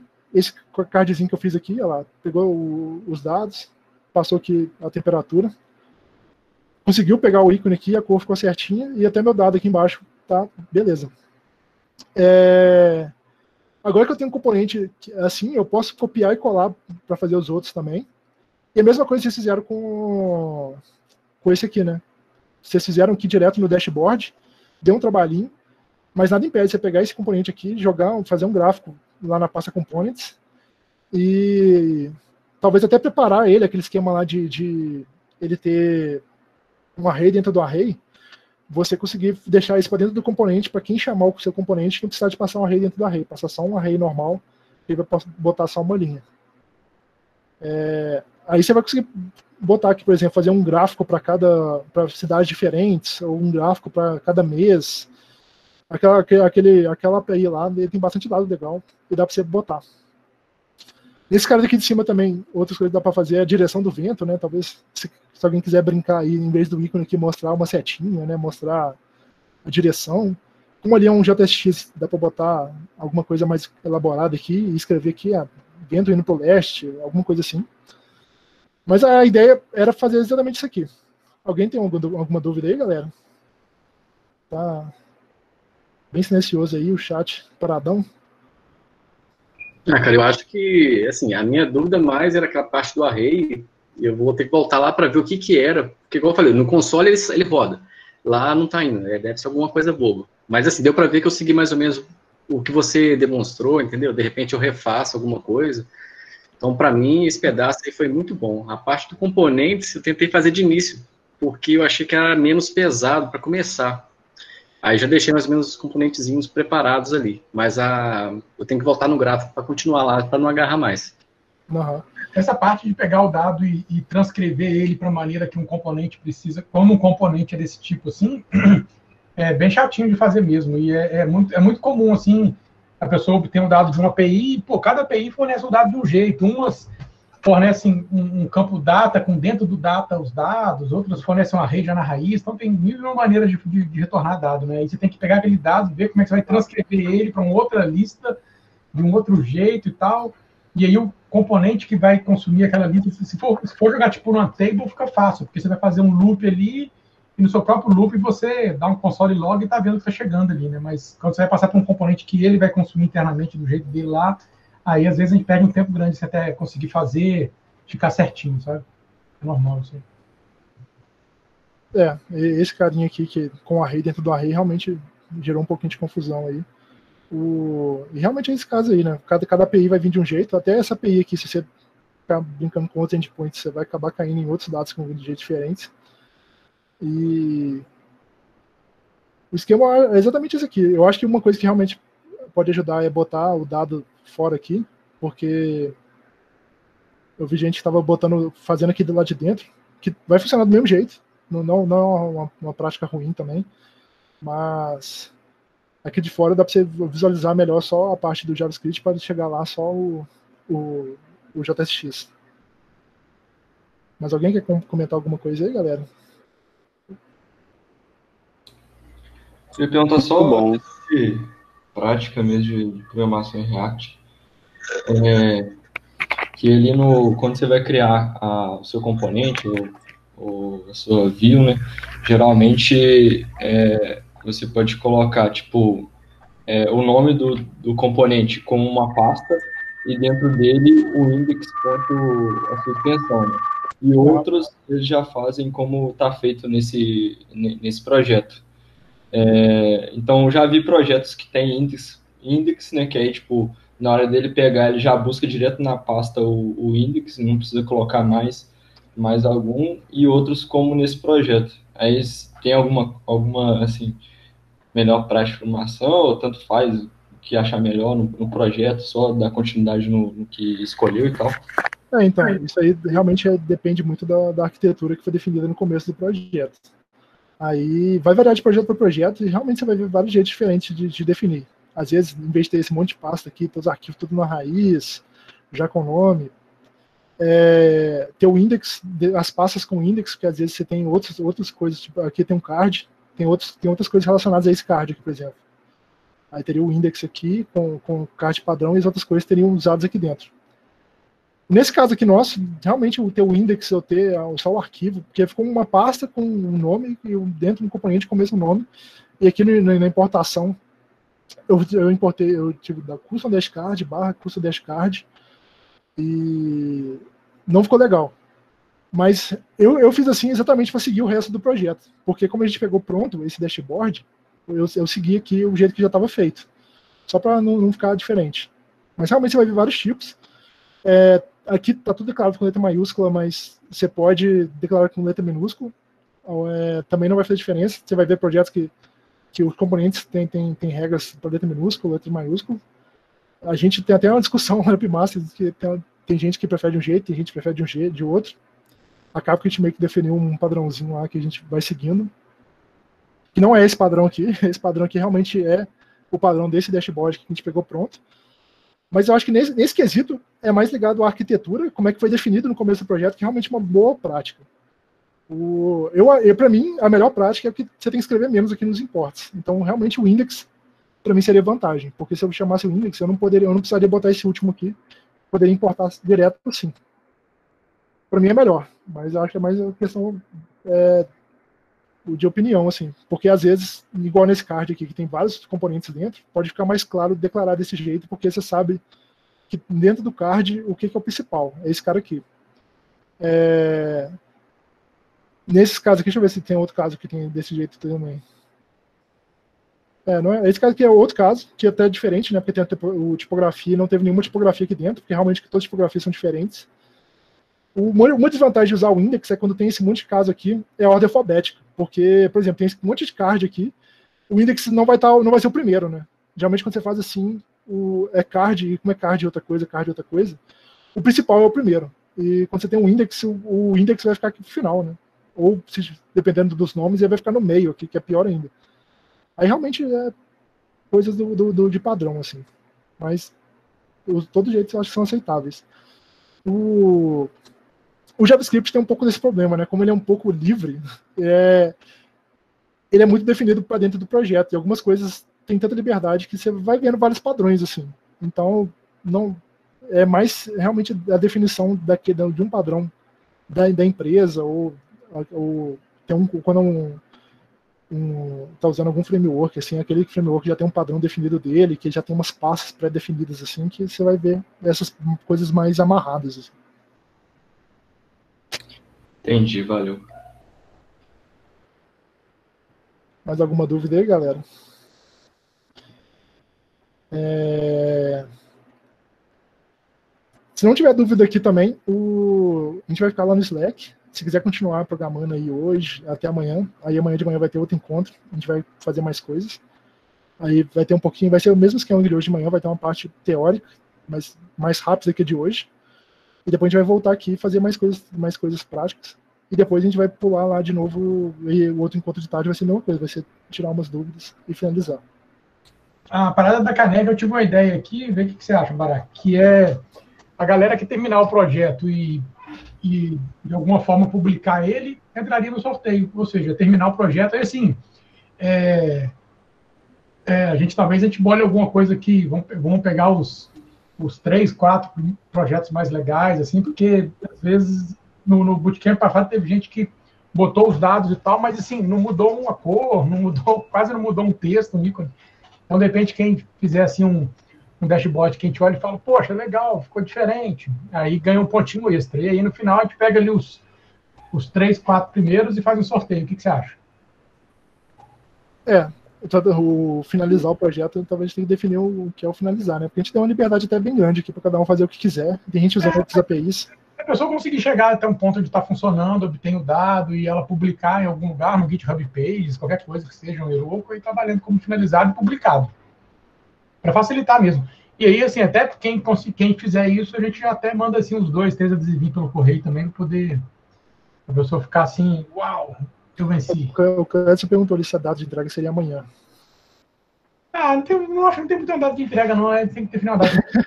a gente vai definir a data de entrega ainda. O, a gente só estava querendo sortear uma caneca, a gente estava pensando um jeito legal aí de, de motivar vocês. É, começa a motivar. Aí, o, o Paulo perguntou se, se, amanhã vai ser o mesmo projeto. A ideia realmente é ser o mesmo projeto, a gente vai seguir no, nesse mesmo nesse mesmo código aqui, só dando uma complicada nele aqui e ali. O, mas hoje é bem a base, assim. Amanhã a gente vai só realmente dar uma, complicada um pouco em alguns pontos, assim. Mas Você não vai fugir muito disso, não. Você manteve aquela coisa do formulário, Barack? Formulário? Tinha um, tinha um, não sei se, tinha, se era num branch separado que tinha um formulário que a pessoa podia tipo, mandar uma. Aí na ideia do, do, Covid lá, né? A pessoa podia mandar tipo uma mensagem no formulário e aí teriam, ela teria que exibir essas mensagens, só que ela teria que também cuidar de como armazenar isso em algum lugar e tal. A gente vê com o Alan lá como é que eles tinham proposto aí e a gente bota isso aí. Beleza.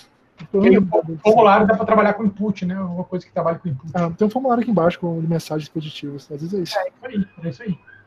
Mas, de repente, implementar alguma coisa que a pessoa possa fazer uma busca na API que ela está usando, ou fazer uma busca local que seja, mas que tenha algum input que ela possa selecionar alguma coisa, né? É. Porque no, é, a gente pode dar uma olhada amanhã. Mas por enquanto, galera, hoje é por isso aí. É isso aí. É, se ninguém tiver mais nenhuma dúvida, vocês estão liberados. Barak, é, eu tenho mais uma coisa é, assim, quando você vai tratar o dado que você pega da API, né, é, você já pega ela direto no, naquele componente de monte. Uhum. Mas assim, é, tem um jeito melhor, você pode né, já tratar os dados direto nesse componente de monte, ou pode criar outras funções que possam é, facilitar, ou você é, joga direto e já faz isso tudo no render, ou então você, assim, assim que você pega a API, você já trata os dados todos e joga para o é, lá para o state, né? O que seria assim mais interessante? Acho que uma coisa interessante, eu até comentei um pouco aqui, é, que daria para fazer aqui, é que o meu gráfico lá, por exemplo, ele está esperando esse tipo, esse setor de dados aqui, né? Que é com labels e o series. E aqui eu fiz isso dentro do render. Isso não é bom, porque a cada coisa que mudar na tela, ele vai ter que, eu vou ter que vir aqui e rodar esse map aqui e gerar os dados do gráfico de novo. Né? No caso aqui, eu no final fiquei com um gráfico bem curtinho aqui, não, não é tanto processamento. Mas se fosse um gráfico mais complexo, ou seria, fosse muitos gráficos, isso aqui é ruim. Isso aqui, dentro do render, deixa o render mais lento, porque o render é a função que está tentando exibir as coisas na tela, né? Então, se qualquer atraso aqui faz a, a, de um render para outro vai ficando lento assim a tela. Então aqui não é o melhor lugar para fazer isso aqui. Essa lógica aqui eu poderia jogar aqui no meu no meu fetch. Aqui eu fiz aqui esse set state aqui, mas nada impede de eu ter alguma lógica de, de processamento aqui, um pré-processamento, né? Antes de, dar o set state. Aqui eu teria aquela lógica ali que eu fiz de, de, de gerar esse objeto aqui, né? com, com, com o meu, meu, meu temp chart aqui. Na verdade, isso aqui. Eu poderia jogar aqui para cima. E. Deixa pegar o response aqui direto, pegar isso aqui. Pegar o meu response aqui e gerar o. No caso que eu teria, como é várias linhas, abrir um,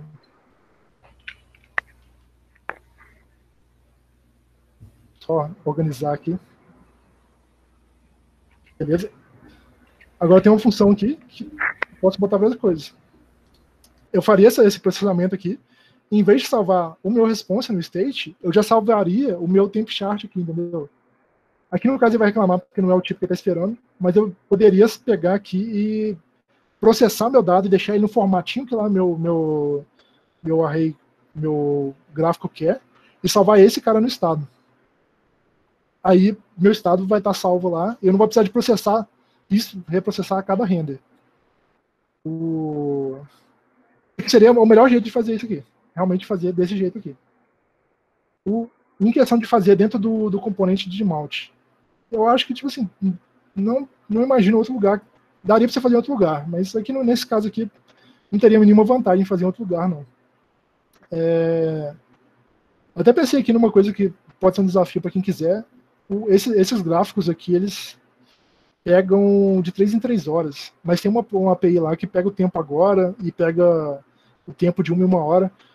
Se alguém quiser e achar legal, tentar mostrar esses gráficos aqui, porque aqui, no caso, eu, dou um, eu pego os gráficos, dou um render e acabou. Meu, meu gráfico, meu, meu, meu dashboard está morto. Se alguém quiser achar legal, pegar esses gráficos aqui, fazer um request na API, fazer vários requests na API e tentar exibir esse, esse gráfico em tempo real, né?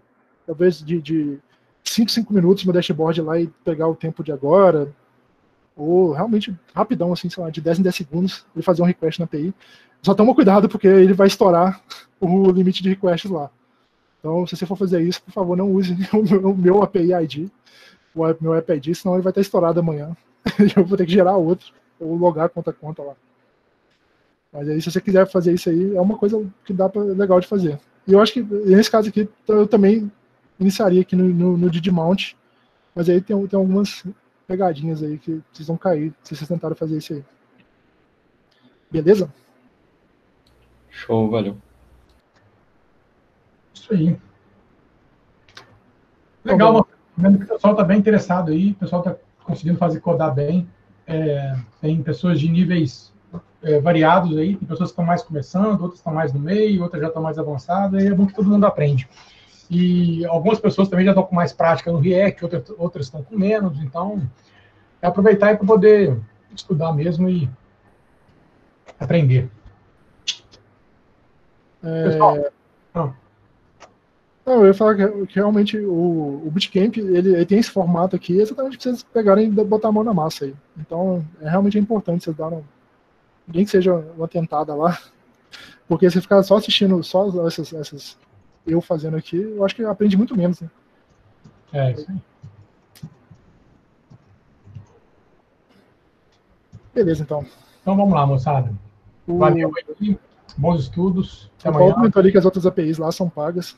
Eu acho que, eu não sei, eu não entendi se cada uma tem um pricing lá, mas pelo que eu tinha entendido, cada uma tem direto lá o. O, o negócio lá. O, quando você faz lá o API key lá, eu, não sei que liberdade você ganha. Eu sei que demora um pouco para ele ficar online lá, mas depois de um tempo eu tive acesso a todas as APIs que eu tentei, assim. Mas nada impede você usar outra API, fique à vontade aí. Agora eu posso finalizar mesmo. Agora vamos levar essa discussão lá para o Slack, se vocês quiserem continuar. Então, valeu, pessoal. Valeu, galera. Boa noite a vocês. Bom código aí para quem for continuar codando. Valeu, um abraço. Amanhã. Até amanhã.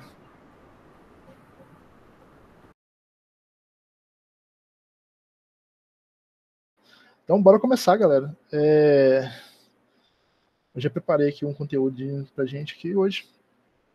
Que são o. Ontem a gente viu a, o, os tipos básicos lá do, do, do, TypeScript. A gente conseguiu montar uns objetos com ele, que a gente até usou bastante lá no nosso projeto, que a gente montou. Os objetos estavam vindo na nossa API lá, definiu os tipos que eram relevantes para a gente, não todos, mas os que eram relevantes as funções, que a gente usou um pouco lá quando a gente foi montar o nosso, nosso componente lá, até no, no nosso Zero Functions, que a gente foi passando os parâmetros e o que estava passando ali para frente. E hoje, e aí depois, depois que a gente teve essa explicação aí, a gente mandou ver lá no, no, no React e começou a aplicar realmente o TypeScript em cima dele. Aí eu separei aqui pra gente o, alguns tipos um pouco mais complexos, que quando você começar a mexer no TypeScript, com certeza você vai cair pelo menos um deles. E talvez pode estranhar um pouco, então vamos passar aqui por eles, para vocês conseguirem entender todos. Beleza. Vou aumentar a tela aqui só para ter mais um pouco de espaço. Primeira coisa aqui não é bem um tipo complexo. É quando você tem um objeto definido no TypeScript, igual a gente fez ontem, é o que eu criei um objeto usuário, defini algumas chaves dele. Eu, eu consigo acessar cada chave dele é, usando, chamando como se fosse um parâmetro mesmo do objeto. Aqui, por exemplo, eu tenho uma, uma função que busca que chama buscar pelo index. Aí eu passo o index e ele vai buscar um usuário lá no, no back-end, por exemplo. Ou sei lá, se ele for no front-end, buscar numa lista. É... Aqui, no caso, quando eu não tenho o tipo definido, vai ser um N, e aqui eu posso. Ele realmente vai tratar aí como N, pode ser qualquer coisa. Não definiu o tipo que está JavaScript puro. Mas o índice do meu, do, do, do meu usuário aqui é uma string. Então, imagina que eu venho aqui e declaro que é uma string. Aí, beleza. Aqui, quando eu estou chamando a função, eu passei lá o meu índice, que é o usuário 2. Mas imagina que chega uma hora do meu projeto, que eu resolvo refatorar lá o meu projeto e percebo que passar o índice assim tá muito ruim, e eu quero transformar o índice para um número. Aí eu vim aqui e transformo para número. É, primeira coisa é perceber que não, não, tipo assim, não falou nada, né? Aqui meu usuário agora é um número, mas aqui está definido que é, que é uma string. Quando ele começar a procurar aqui na lista, provavelmente ele vai dar uma inconsistência e vai falar assim, uai, o seu usuário tem um número, mas a sua função está recebendo um string. Então vem aqui e bota um número aqui também. Então o que aconteceu, quando ele for chamar lá a minha função, ele falou assim, ó, você está passando string, mas você está esperando um número. Aí, beleza. Realmente é um erro esperado porque mudei o tipo aqui. Mas em vez de fazer isso aqui, que vai dar um trabalho, o que eu posso fazer é o seguinte. Aqui o tipo é string, aqui é string. Em vez de usar assim, eu posso ir lá, definir meu objeto, que é o usuário, e chamar aqui direto o tipo da key, de uma das keys dele. Usuário. E definir o tipo da key. Ah lá, eu posso falar assim, ó. Aqui o índice é o, index do usuário. Então eu faço assim, ele vai saber que aqui, ó, como se eu estivesse chamando realmente a, o tipo da propriedade lá. É, ele vai saber que o índice aqui ó, agora é uma string, porque ele está pegando o tipo que eu defini aqui em cima. Então, se eu mudar aqui para número, ele vai já mudar em todos os lugares que eu estou chamando assim. Então, vai, realmente vai, você vai ganhar um tempo aí e vai ter consistência lá no código, porque dali para frente, todo lugar que está chamando não vai precisar de mudar todos os lugares se eu mudar o tipo primário aqui, né, que o meu usuário, todos os lugares estão chamando aqui, já vai saber que ah, o index mudou, agora é um número. Então todos os lugares vão ser um número. Aí aqui embaixo, em vez de ser string, eu vou ter que mudar para o número para ele reclamar, para bater lá no, no, no, no tipo que está esperando do nosso usuário. Beleza? Deixa eu só abrir o chat aqui, que vocês estão conversando demais lá. O meu está fechado. Fechou. É... Beleza, esse aqui é o acessar o um, um parâmetro lá do nosso usuário, do nosso do nosso objeto. O TypeScript ele te dá uns tipos complexos também que a gente até começou a olhar que no, do mesmo jeito que é que é aquele array lá, igual ontem a gente fez, a gente podia definir array e passar alguns parâmetros aqui. E tem alguns tipos próprios que ajudam a gente a definir o a travar um pouco o, o, o, os nossos tipos aqui. Aqui, por exemplo, eu criei um tipo categoria, que tem um título e um index aqui, parecido com o do usuário lá em cima. E no caso aqui eu falei que é, é read only. Então a única coisa que eu posso fazer com, esse, com essa, essa variável aqui é ler os valores dela. Ou eu não posso escrever. Então, por exemplo, aqui, quando eu tentei definir o, o index, ele falou assim: ó, você não pode dar, dar, é, botar um valor novo aqui no index, porque ele é um read only. É, isso trava um pouco aqui o, a, a utilização do, do, da variável, mas isso é, a vantagem é que você vai ter consistência. Você vai ter uma variável que às vezes veio da API, que realmente ninguém ali para baixo consegue mudar, e você consegue travar lá no, no nosso get, por exemplo, o que dali para frente ninguém pode mudar aquele valor lá, para realmente é, garantir que aquele valor vai estar consistente até a, a última utilização lá. Então, lá no nosso, na nossa chamada API, a gente poderia ter usado o read only para travar que aquela chamada que veio da API não, não pode ser mudada quando chegar lá no set state, por exemplo. É, outro jeito aqui que, que, que o TypeScript dá para a gente gerar um tipo complexo aqui é o partial. Por exemplo, é, eu tenho um, esse tipo loja aqui, que é, que é, que é os, os, atributos de uma loja genérico aqui. Aí tem o índice, o nome, o endereço, todo mundo string. E eu tenho uma função lá no meu back-end ou no meu front-end de validar essa loja. Eu quero passar uma, um, uma loja para ele e ele vai conferir se todos os atributos estão do tipo certo ou se estão se está alguma coisa faltando. Então, como eu não sei o que está faltando, se eu vier aqui e botar que essa loja aqui é do tipo loja, por exemplo, aqui esse objeto está faltando tudo. Ele vai reclamar, ele vai falar assim: é, aqui tá faltando todos os atributos que estão lá da loja. Porque você falou que é uma loja, mas você passou nada aqui. Aí eu sei que não passei nada, eu queria que ele validasse esse objeto aqui e me falasse durante a programação que esse objeto está errado. Então, em vez de passar aqui a loja, eu posso falar que é uma loja parcial. O que fazer aqui? Em vez de saber que isso aqui é uma loja completa, ele vai achar que é uma loja totalmente é, opcional. Todos os campos dela, se eu vier aqui no, no bater aqui loja e ponto. Ah, todos os campos dela, o índice, endereço e o nome, estão com interrogação aqui. Todos os campos viraram opcional. Ele não tem certeza de nada. Ele sabe que aqui é uma loja, mas ele não sabe o que, que tem dentro dessa loja. Pode ser qualquer coisa. Então, ele vira um subconjunto daquela, daquele objeto que a gente criou aqui.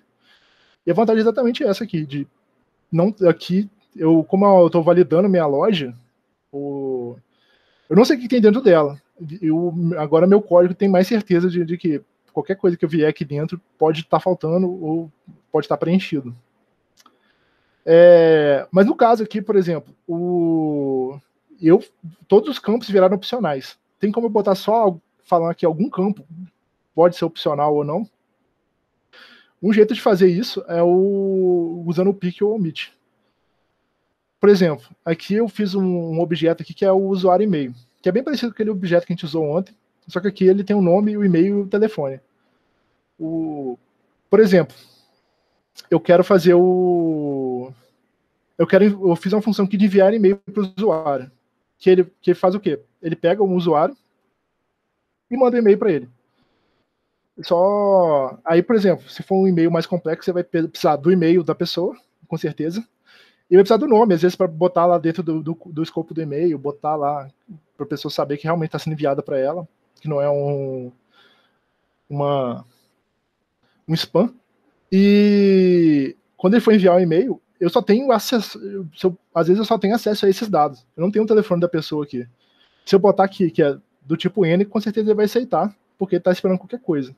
Mas, por exemplo, se eu vier aqui e falar que esse cara aqui é um usuário e-mail, aqui embaixo vai reclamar porque falando assim, ó, o telefone está faltando. Não tem o telefone desse usuário aqui sendo que é, aquela função nem vai precisar do telefone. Então, para que, que eu vou precisar de fornecer um telefone aqui só para ele parar de reclamar? Aí, realmente, aí o que acontece? Aí, nesse caso aqui, você já está fazendo a sua programação é, a, aderir, é, encaixar no TypeScript e vai fazer o TypeScript encaixar na sua programação, que não é muito legal você vai começar a ter casos igual esse aqui, tipo assim, eu vou botar um telefone qualquer aqui só pra, porque o meu usuário tem telefone, então vou botar um telefone qualquer aqui só para o TypeScript pode reclamar. Isso aqui não é legal. O que eu posso fazer aqui é falar assim, ó, meu usuário e-mail aqui, ele tá. Alguma coisa que eu posso fazer é usar o partial ali em cima, igual a gente fez. Só que o que acontece? Se eu usar o partial, ele vai aceitar, ele vai parar de reclamar. Só que agora, qualquer campo aqui do meu, do meu usuário, eu sei que é que é opcional. Então, se eu passar um usuário aqui sem e-mail, ele não vai reclamar, porque todos os campos são opcionais. Então, como é que eu vou mandar um e-mail para um usuário que não tem e-mail? Então, o que, que eu posso fazer? Em vez de usar o partial, eu posso usar o pick. O pick, eu falo assim, ó, meu objeto é esse aqui, mas eu não quero tudo dele. Eu quero só algumas coisas. No caso, eu quero só o e-mail e eu quero só o nome. Beleza, ele vai entender o quê? Que esse usuário aqui é o usuário, é o e-mail, o usuário e-mail lá, mas ele não é um usuário e-mail completo. Ele é só um usuário e-mail é, realmente com algumas coisas escolhidas dentro dele. Então, se eu vier aqui no meu usuário e ver os atributos que tem nele, pode ver que tem aqueles só os, ele não tem mais o telefone, ele tem só o e-mail, o nome, e não, nenhum deles é opcional, realmente está obrigatório aqui, e vai esperar aqui embaixo. Então, se eu passar aqui telefone, ele vai falar assim, ó, o, o tipo ali de cima, aqui tá, tá, já dá, começa a dar aqueles erros meio grandes, vai falar assim, ó, o telefone não existe no tipo que você pegou, que é o PIC lá com o nome e o e-mail. Beleza. É, aqui ficou um pouco ruim, porque eu tinha três campos, eu não queria um deles, mas eu tive que declarar todos os campos que eu, que eu queria. Imagina que eu tenho muito mais campos do que eu quero, do que eu, que eu quero, do que eu não, que eu, os que eu não quero. Tem como eu fazer, declarar só o que eu não quero, em vez de declarar o que eu quero? Aí que eu posso usar o omit em vez de usar o pick para pegar os campos que eu quero, eu posso usar o omit para esconder os campos que eu não quero. Então seria quase a mesma coisa, só que aqui em vez de eu falar os campos que eu quero, eu venho e falo assim, ó, o meu tipo é o usuário e-mail, só que em vez de, de falar os campos que eu quero, eu falo assim, é, é um, é um usuário e-mail, só que você pode omitir o telefone. O usuário não vai ter um, telefone mais. É, aí vai dar a mesma coisa aqui, olha lá, ele vai falar que, que é um usuário e-mail, só que agora só tem e-mail e telefone. E se você olhar que o tipo desse cara aqui, ele é exatamente o outro tipo lá. Ele é um pick com o usuário e-mail com os campos que ele que ele pegou. Ele não, não, não tem um tipo omit ali, né? Ele é um, um pique, só que ele deu um pique em tudo e tirou o que a gente não queria. Então, no final vai dar na mesma, só que aqui realmente é só o inverso do pique, para a gente não ter que escrever todos os campos que a gente quer, a gente pode escrever só um campo que a gente quer, que esse código aqui não tem. Só lembrando, aqui é, é o TypeScript. Eu tô, eu tô, tipo assim, no universo dos tipos, não do, do código, assim. Então, se eu passar um usuário aqui, tipo, por exemplo, eu faço uma requisição da API, vem um usuário com telefone e eu passo ele aqui, ele vai ter o telefone ainda. Só que aqui no, na minha IDE, durante eu, quando eu estiver programando, se eu passar um telefone, ele vai reclamar. O, o TypeScript só, só vai funcionar lá quando eu estiver realmente programando. Quando eu tiver. Quando eu passar um, um atributo aqui depois, que ele não vai saber que tem um telefone, ele vai aceitar, ele vai continuar. Beleza. É, o, o, próprio TypeScript tem esse monte de tipos aqui, o pick, o omit, o partial, o, o read only, que usa essa, essa chavinha aqui que eu posso passar como se fosse variáveis para o meu, pro meu objeto, para o meu tipo ali complexo, né? Mas tem como fazer um tipo mais complexo ainda, um tipo que eu, eu vou criar, aí tem, que tem um tipo genérico. O tipo genérico, ele, ele é realmente como se fosse um, uma função com um tipo, assim. Eu posso criar um tipo do jeito que eu quiser. Aqui, por exemplo, eu criei um tipo conjunto que eu, eu posso falar assim, exatamente aqui, ó, eu criei um usuário e-mail. Aqui eu posso ter um conjunto com um tipo genérico aqui, que é um tipo qualquer. Esse aqui não é um tipo não realmente não existe o tipo tipo, é um tipo que só existe aqui nesse, nesse, nesse escopo aqui do, do tipo. E que eu falei que tem uma lista que é desse tipo aqui. O que, que vai acontecer aqui quando eu tiver quando eu fizer isso? Quando eu usei esse conjunto aqui, ah lá, eu falei que eu tenho uma, um, uma, varia, uma função que chama enviar e-mail para a lista. Ele vai receber um conjunto, e esse conjunto é de, é de quê? É de usuário e-mail, que é o, o, tipo aqui de cima. O que ele vai fazer quando, quando, ele, quando ele vê isso aqui? Vai pegar esse aqui, o usuário e-mail, e vai falar assim, ó, é, qual que é o tipo aqui? É o usuário e-mail. É como se eu fizesse isso aqui, entendeu? Mas em vez do conjunto, o conjunto aqui, eu posso usar várias vezes para várias coisas. Como se fosse realmente uma variável dentro do meu tipo. O meu conjunto agora, ele virou esse tipo aqui. Do tipo conjunto, um conjunto de usuários e e-mails. Se eu fizer, se eu passar o mouse aqui, dá para você ver lá. Ó. O tipo desse cara aqui do conjunto é um conjunto de usuário e e-mail. Se eu ver os atributos dele, olha lá, ele tem uma lista, que é um array de, de, do, de usuário e-mail. Então, se eu, se eu pegar minha lista aqui, e ver os, o, o que ele vai recomendar aqui são exatamente os métodos do array. E se eu olhar o primeiro argumento, o primeiro item lá da minha lista, eles são está recomendando exatamente o, o que eu declarei aqui, que é o do usuário e-mail. Se eu fizesse, por exemplo, é, de usuário e-mail aqui, eu posso falar que é um conjunto de string, eu pegar aqui o primeiro, o primeiro argumento, se eu ver aqui, ele vai recomendar as coisas de string. Aí vai falar aqui, ó, o meu, meu, a minha lista é um array de string. Então, meu, meu item zero aqui, nem sei se eu consigo olhar isso aqui só passando o mouse. É, é, o meu item zero é uma string. Beleza, galera? Aí aqui, ó, embaixo, quando eu declarei aqui, eu, se for uma, um conjunto de string, eu posso passar uma string aqui e vai aceitar. Se eu falar que é um conjunto de número, ele vai reclamar que esse cara aqui, ó, o string não é um número. Por quê? Porque eu sei que ele está esperando uma lista, por causa do meu tipo conjunto aqui, com um, o tipo que eu declarei aqui, no caso que é número, número e número. É... Por que, que esse cara aqui é útil? Por exemplo, ontem, quem fez a API lá do. do. Do, do, do, clima aqui, reparou que a gente, a gente, pelo menos o meu exemplo que eu fiz aqui, eu chamei dois endpoints. Os dois endpoints, um voltava uma lista, o outro voltava só o detalhe de, de agora. Vocês vão reparar, aqui no caso eu não declarei todas as, as propriedades, mas se você olhar lá o, o, que, o que a lista volta, a gente pode até olhar aqui. Vou pegar aqui o endpoint certinho. Isso aqui é o que a lista volta. Isso aqui é o que o o detalhe volta. O detalhe, ele volta com a coordenada, o clima, o main aqui, a visibilidade. A lista, ele volta várias coisas parecidas. Por exemplo, o error, o clouds, o wind. Só que ele volta dentro desse, desse, desse list aqui. E isso ficou muito parecido com o que a gente, com o que a gente fez aqui, ó. Que é ter um conjunto aqui e com uma lista. Então, aqui no nosso caso, quando eu definir o tipo do API response e definir o tipo aqui do, do API forecast, talvez a nossa lista aqui pode ser só esse tipo aqui de cima. Assim. Não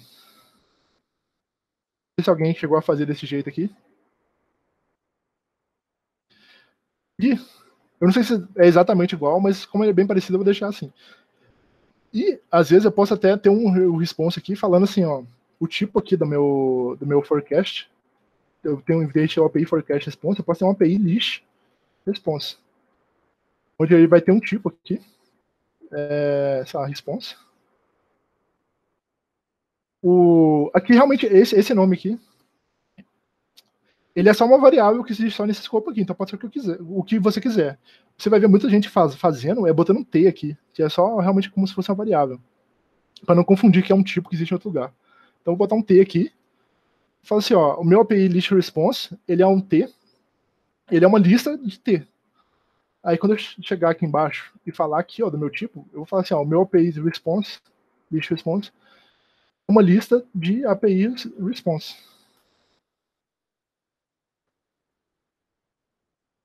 Beleza? Aí aqui embaixo, mesma coisa. O meu API list response é uma lista do, do API response lá. É, eu não tenho certeza se os tipos são exatamente iguais, mas eu acho que são. E eu acho que do jeito que tá aqui já vai rodar. Deixa eu ver se ele. Se eu vou precisar de ajustar mais algum tipo. Ou se direto vai rodar. É, ele falou que o DT ali não existe. É porque eu, no primeiro caso aqui eu não, tinha, eu não tinha declarado o DT, mas a gente usou no segundo. Então eu vou botar o DT aqui, que é um number. Acho que ele vem no primeiro aqui, não vem? Que é no caso desse cara aqui.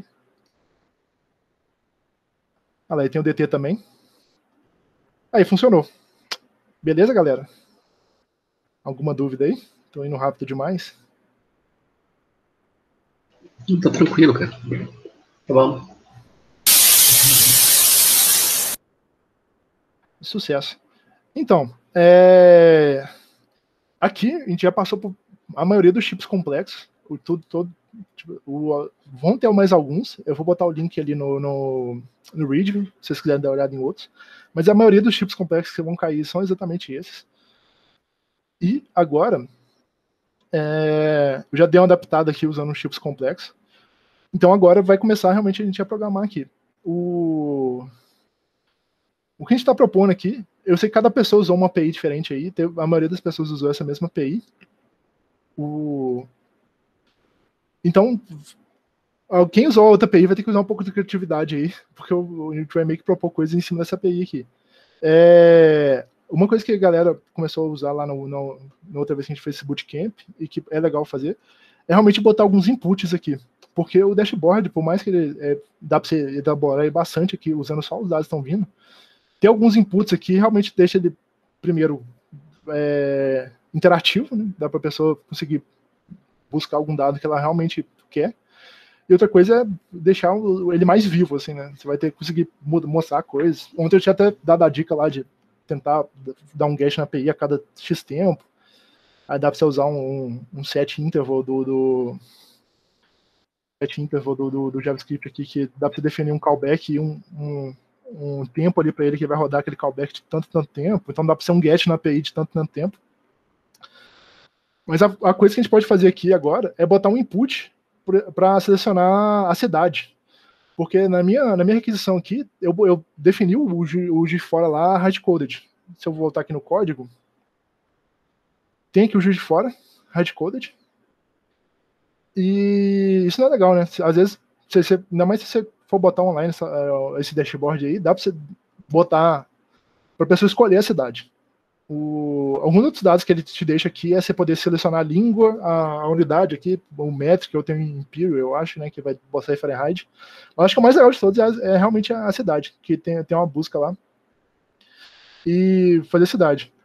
A primeira coisa que você pode fazer é aqui, é, eu vou só começar, mas o desafio vai ser realmente vocês continuarem isso aqui de tarde. É, pegar esse dado aqui e vir do estado. Vou só fazer aqui para o primeiro aqui, só um pouquinho. Aqui no caso, vou chamar minha string aqui de ele igual a juiz de fora.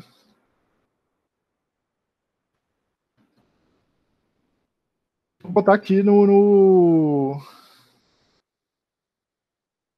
no meu no meu no meu no meu URL. Quem não está familiarizado com, com esse tipo aqui de declaração é o. Eu posso botar o. Fazer uma query string aqui, que é botar esse, a, o acento. Lembro, nunca lembro o nome desse acento. Esse acento é o contrário aí, que não é o agudo, né? O acento grave. Isso aí. E aqui dentro eu posso botar o, o cifrão aqui entre, entre, entre parênteses, eu posso passar variáveis aqui. Então, por exemplo, se eu tivesse meu, meu API fonte, API, ID e esse númerozão aqui. Eu posso botar ele aqui do lado de fora e simplificar, deixar um pouco mais, claro aqui o meu o meu código aqui, o que ele está usando. É, quem está usando aí o Axos, você não precisa nem fazer isso aqui. Você, o próprio ele já te deixa passar um, um objeto lá no, no, config que você tem o. Acho que é params.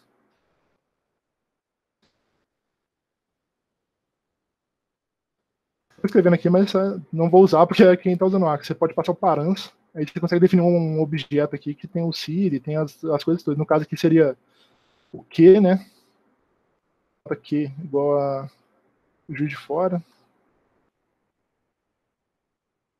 Ele já vai montar essa URL aqui completa. Você só, só, precisa definir a primeira, a primeira parte aqui. E ele consegue montar o resto da URL só passando pelos params aqui. Params. É... Beleza. O... Aqui, eu posso eu definir a Siri aqui. Mas o que acontece? No caso, se, se, por exemplo, você deixar seu. Seu. Quando a pessoa entrar lá e não tiver nenhum dado, talvez o Siri aqui vai estar em branco. Então, em vez de escrever juiz de fora, já sabe que a gente pode definir aqui que é uma string. E ele já vai saber que é uma string aqui, mesmo sem sem ter que. Ele vai reclamar aqui no caso, porque ele tá falando que, que ele não estava sendo usado sem ter atribuído nada.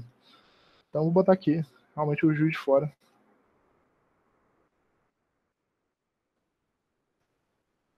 Ele conseguir ter um valor aqui.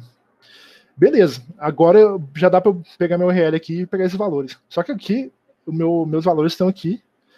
E o ideal seria que eles estivessem no estado, né? Então, vamos pegar aqui e botar lá no meu estado lá coisas novas. Então, no meu estado lá, eu tenho esses valores aqui, que eu já tinha definido ontem. Então, vou botar só um valor a mais aqui, que é o Siri, que é uma string. É, beleza. Agora eu tenho coisas a mais no meu estado. No meu, no meu estado. Aqui no caso, em vez de botar que ele é opcional aqui, igual eu tinha feito no outro, eu vou definir aqui um valor inicial para ele que é um valor vazio. Ou pode ser um juiz de fora mesmo. Só para nosso, nosso dashboard continuar funcionando do jeito que ele está. E aqui, em vez de consumir desse, desse variável local, eu vou consumir lá no meu estado. this.state.city. Isso aqui agora não faz mais sentido. E meu app ID ali, eu posso tirar ele fora que eu vou usar ele aqui também, embaixo. Calma aí.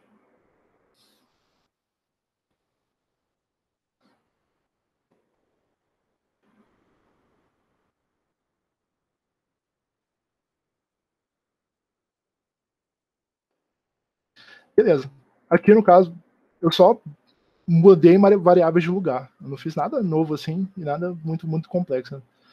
Se você vier aqui no dashboard, ele tem que estar tá funcionando do mesmo jeito, porque o que aconteceu? Ele tá só pegando as variáveis lá, ele fez as mesmas requests e só mudei de lugar as variáveis. Só que meu city state aqui, ele tá padrãozão lá, né? Ele, ele tá travado em Juiz de Fora. Aí que entra no nosso input lá para mudar ele. Só que essa parte, essa parte aí eu, vou fazer não. Eu vou deixar para vocês fazerem, porque vai ter alguns, algumas pedras no meio do caminho aí que, que vão ser legais vocês fazerem. É, outra coisa que dá para vocês fazerem aqui, o que eu tinha recomendado ontem, é o passar esse. Do mesmo jeito que a gente fez aqui, componente virar realmente um componente, passar esse, esse cara aqui para um componente está de dentro. E é bem legal porque esses componentes aqui são bem visuais. Então, se você gerar realmente um componente, dá para você até usar em outros projetos. E talvez fazer essa barra aqui, fazer só passar como props lá a barra ou, ou linha, deixar a galera é, conferir. É, realmente, igual eu tinha falado ontem, que se você olhar esse gráfico aqui, dá pra você ver que hoje tá bem mais fresco que ontem. Agora, ontem tava indo até 30 e poucos, agora já tá indo só 26. O... E outra coisa que dá você, outra coisa que, que é legal você pegar aqui para fazer de tarde é botar um estado de loading no, no nosso componente aqui. O se você olhar aqui no, no nosso código, do jeito que a gente fez ontem lá, deixa eu pegar aqui. É, eu tinha feito que o que essa resposta aqui é opcional e eu tinha feito aqui que o, que o, o, o gráfico lá ele começa vazio e quando chega a resposta da API ele vai preencher os dados. Só que se você vier aqui no nosso dashboard, ele começa em branco, meio estranho assim, né? Ele, tá escrito undefined graus aqui, ó e depois ele vai preencher. Ou, ou, raramente alguém vai chegar e vai ver assim, esse aqui. Mas, por exemplo, a API estiver um pouco mais lenta, o, o cara tiver uma conexão bem ruim, ele vai ficar um bom tempo aqui com esse escrito undefined graus aqui, esse gráfico em branco aqui, isso é bem feio, né? Então, talvez aqui, ó, enquanto enquanto o, a gente está no, no, estado de load aqui, por exemplo, eu dei o de mount lá, eu posso ter lá no meu, no meu state um load, é do tipo booleano. E esse cara aqui, ele pode definir lá que alguma alteração na minha view para Aí o load começa. Load, load começa como falso. E. O que tá reclamando aqui? É, é, só o delay do, do, do compilador aí. O, o, load começa como false, e aqui, ó, quando eu faço a minha, a minha requisição, eu posso dar um, um 6.7 state loading. E quando ele faz essas aquisições aqui, ele, ele além de setar como a resposta, ele pode setar o load como false. Tirar o estado lá. Só que tem o um detalhe. Aqui eu, tenho, eu fiz duas aquisições diferentes. Né? Não sei se todo mundo fez duas aquisições ou fez só uma. Aqui eu fiz duas aquisições. Eu teria que lidar com um loading dessa e um loading dessa. Talvez para mostrar um loadingzinho lá em cima, só, só ocultar o que eu não tenho dado. Ou também, no caso, eu posso transformar tudo numa aquisição só. Fazer. Aqui nesse caso aqui, principalmente dessa API aqui, porque esse cara, essa requisição aqui, ela só está pegando os dados mais novos. E essa aqui está pegando todos os dados, então esse dado aqui talvez está incluído no, no dado aqui de baixo mostrar ele em vez de mostrar esse cara aqui. E aqui embaixo eu posso pegar aquele loading lá e mostrar, e tipo assim, ocultar os dados aqui, né? Se if this.state.loading retornar, por exemplo, seria um, um, componente aqui de loading. Eu não, eu não acho que não tem um componente de loading disponível aqui vou só retornar o. Apagar aqui. Ah, voltou. No caso aqui ele vai só. Ah, eu, eu, eu dei o set state no, no loading true, mas eu tirei o set state de loading false. Então, vou botar aqui o loading false. Loading false. É, eu tô fazendo isso aqui, mas vocês vão ver que, na verdade, vai ficar até um pouco pior, porque ele começa com a tela agora, começa com a tela toda em branco, e do nada mostra os componentes. Eu acho que eles têm uma, uma animaçãozinha leve aqui, que é até legal, porque ele já vai mostrar uma animaçãozinha com os, os, os valores definido, definidos, né? Só que o ideal seria realmente se tivesse um loading ou ocultar só o componente que você não tem os dados. Isso algumas dicas que você pode fazer de tarde para deixar sua aplicação mais elaborada, assim. É... Eu acho que é isso, galera. O... Eu já dei um caminho das pedras bem grande aqui até, né? Porque eu já botei o, o... a cidade lá no estado. Agora é realmente pegar um input. O... Esse, esse componente, eu acho que tem o material, material Y instalado, né? Que esse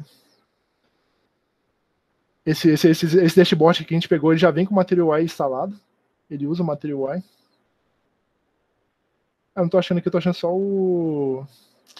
É, esse cara aqui mesmo. Ele tem o Material Y instalado aqui. Só que eu acho que é uma versão um pouco mais antiga, porque o, é o que esse dashboard usava. O Material Y, para quem não sabe, é uma biblioteca de componentes do React, que é bem tranquilo de usar. Então, se você vier aqui, acho que é só você vir no Get Started, aí tem os componentes aqui embaixo. Então, você, você tem uma lista de componentes já todos prontos. No caso, o ideal seria você usar o input. Input. Tem o, o text field. Você pode digitar aqui, por exemplo, o juiz de fora lá, você adapta para realmente preencher o dado lá no, no, nosso URL e fazer aquela requisição, já mostrando um loading quando, o cara, quando a pessoa digitar.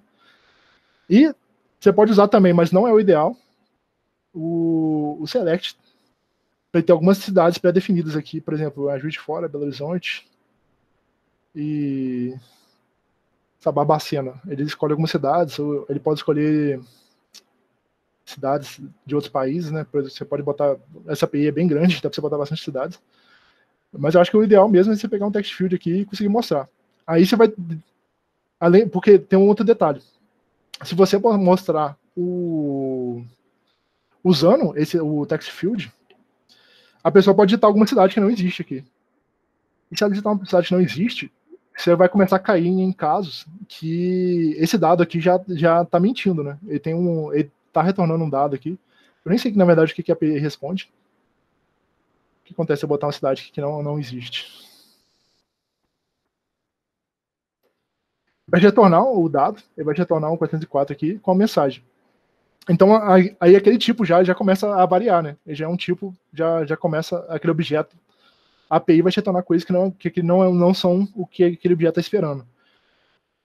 E aí você começa poder usar aqueles tipos variáveis lá, de, de falar assim, ó, esse API aqui tá, tá, pode retornar isso aqui, ou pode retornar aquilo lá. Ou pode, dependendo de uma cidade, isso é caso que eu não cheguei, mas alguma cidade vai ter mais dados, ainda mais você pegar umas cidades maiores, assim, sei lá, Londres, Nova York, que são os exemplos dele, talvez você vai conseguir mais dados do que realmente os, os que estão vindo para de fora. É, aí você vai começar a, ter, botar, usar o pique lá, por exemplo, falar assim, ó, essa cidade pode ter isso, pode ter isso. Mas é isso aí, galera. É, hoje eu prometi que não ia correr, eu não, não ia botar, fazer, pegar vocês por bastante tempo aí. A ideia é realmente vocês de tarde fazendo esses desafios propostos, usando aquelas coisas que, que vocês pegaram hoje. É, essa parte dos itens complexos aqui, ela não estava comitada lá, mas agora já está. Se vocês quiserem dar uma olhada lá e tirar alguma dúvida, tá, tá, tá lá no, no repositório já. Tá tanto naquele branch que eu criei ontem para com o código de ontem, quanto no, no, no, master lá já tem esse código aqui também. Vocês têm alguma dúvida aí, antes da gente começar a botar a mão no código? o Leslie mandou aqui um componente de load, que é esse aqui. Realmente é o melhor de todos. Vou botar ele aqui. ele é, com certeza é o componente de load que a gente mais mais mais consegue ver. Ah lá, tá lá carregando. Tá muito lento aqui. Tá muito rápido, quer dizer. Se você vier aqui no. Se quiser trabalhar com load, você consegue vir aqui no network e fazer um slow 3G aqui, que ele vai dar uma. uma ele vai deixar o. Vai dar uma, uma apertada aqui na conexão para ficar mais tempo aqui para fazer o request. Vai dar um, um delay nela. Aí realmente você vai conseguir ver o loading, o loading bonito que, que, que o Leslie mandou aí. Beleza, galera? Alguém quer tirar alguma dúvida aí antes de, de, ou no chat aí ou falar aí no microfone?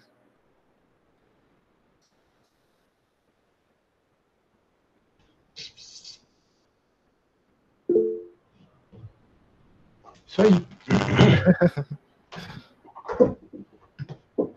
é, o já mandou ali, bora começar. Então, bora começar mesmo. É... De tarde aí, a gente vai voltar aí para tirar dúvida. O como o desafio aí ficou de realmente publicar essa parada aqui, talvez vão surgir algumas dúvidas na hora que vocês forem publicar. A gente está aí para ajudar durante o dia, mas como o desafio não vai. O, você pode mandar até de noite, assim. Então, depois do nosso, do nosso encontro aqui, eu não, eu não vou pegar para publicar aqui, mas a gente pode tirar algumas dúvidas antes de você publicar.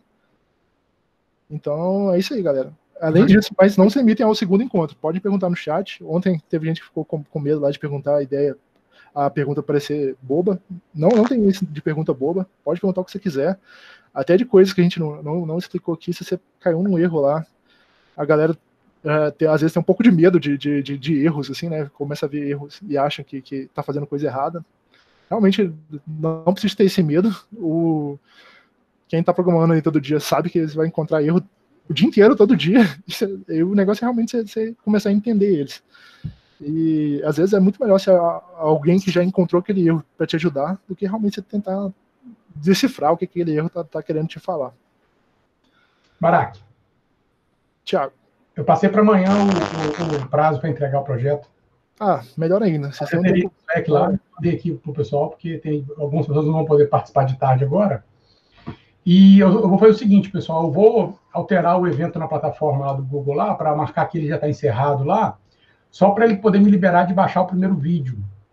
Que aí, de repente, hoje, depois do, do, do último encontro, é, no começo da noite, eu já mando um e-mail para todo mundo que participou e que não participou, com, com todos os vídeos. O primeiro vídeo, o vídeo de ontem de tarde, o vídeo de, esse vídeo agora e o próximo vídeo também. É, a gente acabou gravando lá, mas travou, porque só libera os vídeos depois que o evento termina. Então, aí, como, como, ainda está na data lá. Isso, aí entre pelo link do Slack lá, que é o link que vocês entraram agora mesmo, esse mesmo link. Beleza? Então, beleza, moçada. Manda brasa nos códigos aí. Bora botar a mão na massa aí. Valeu, galera. É isso aí.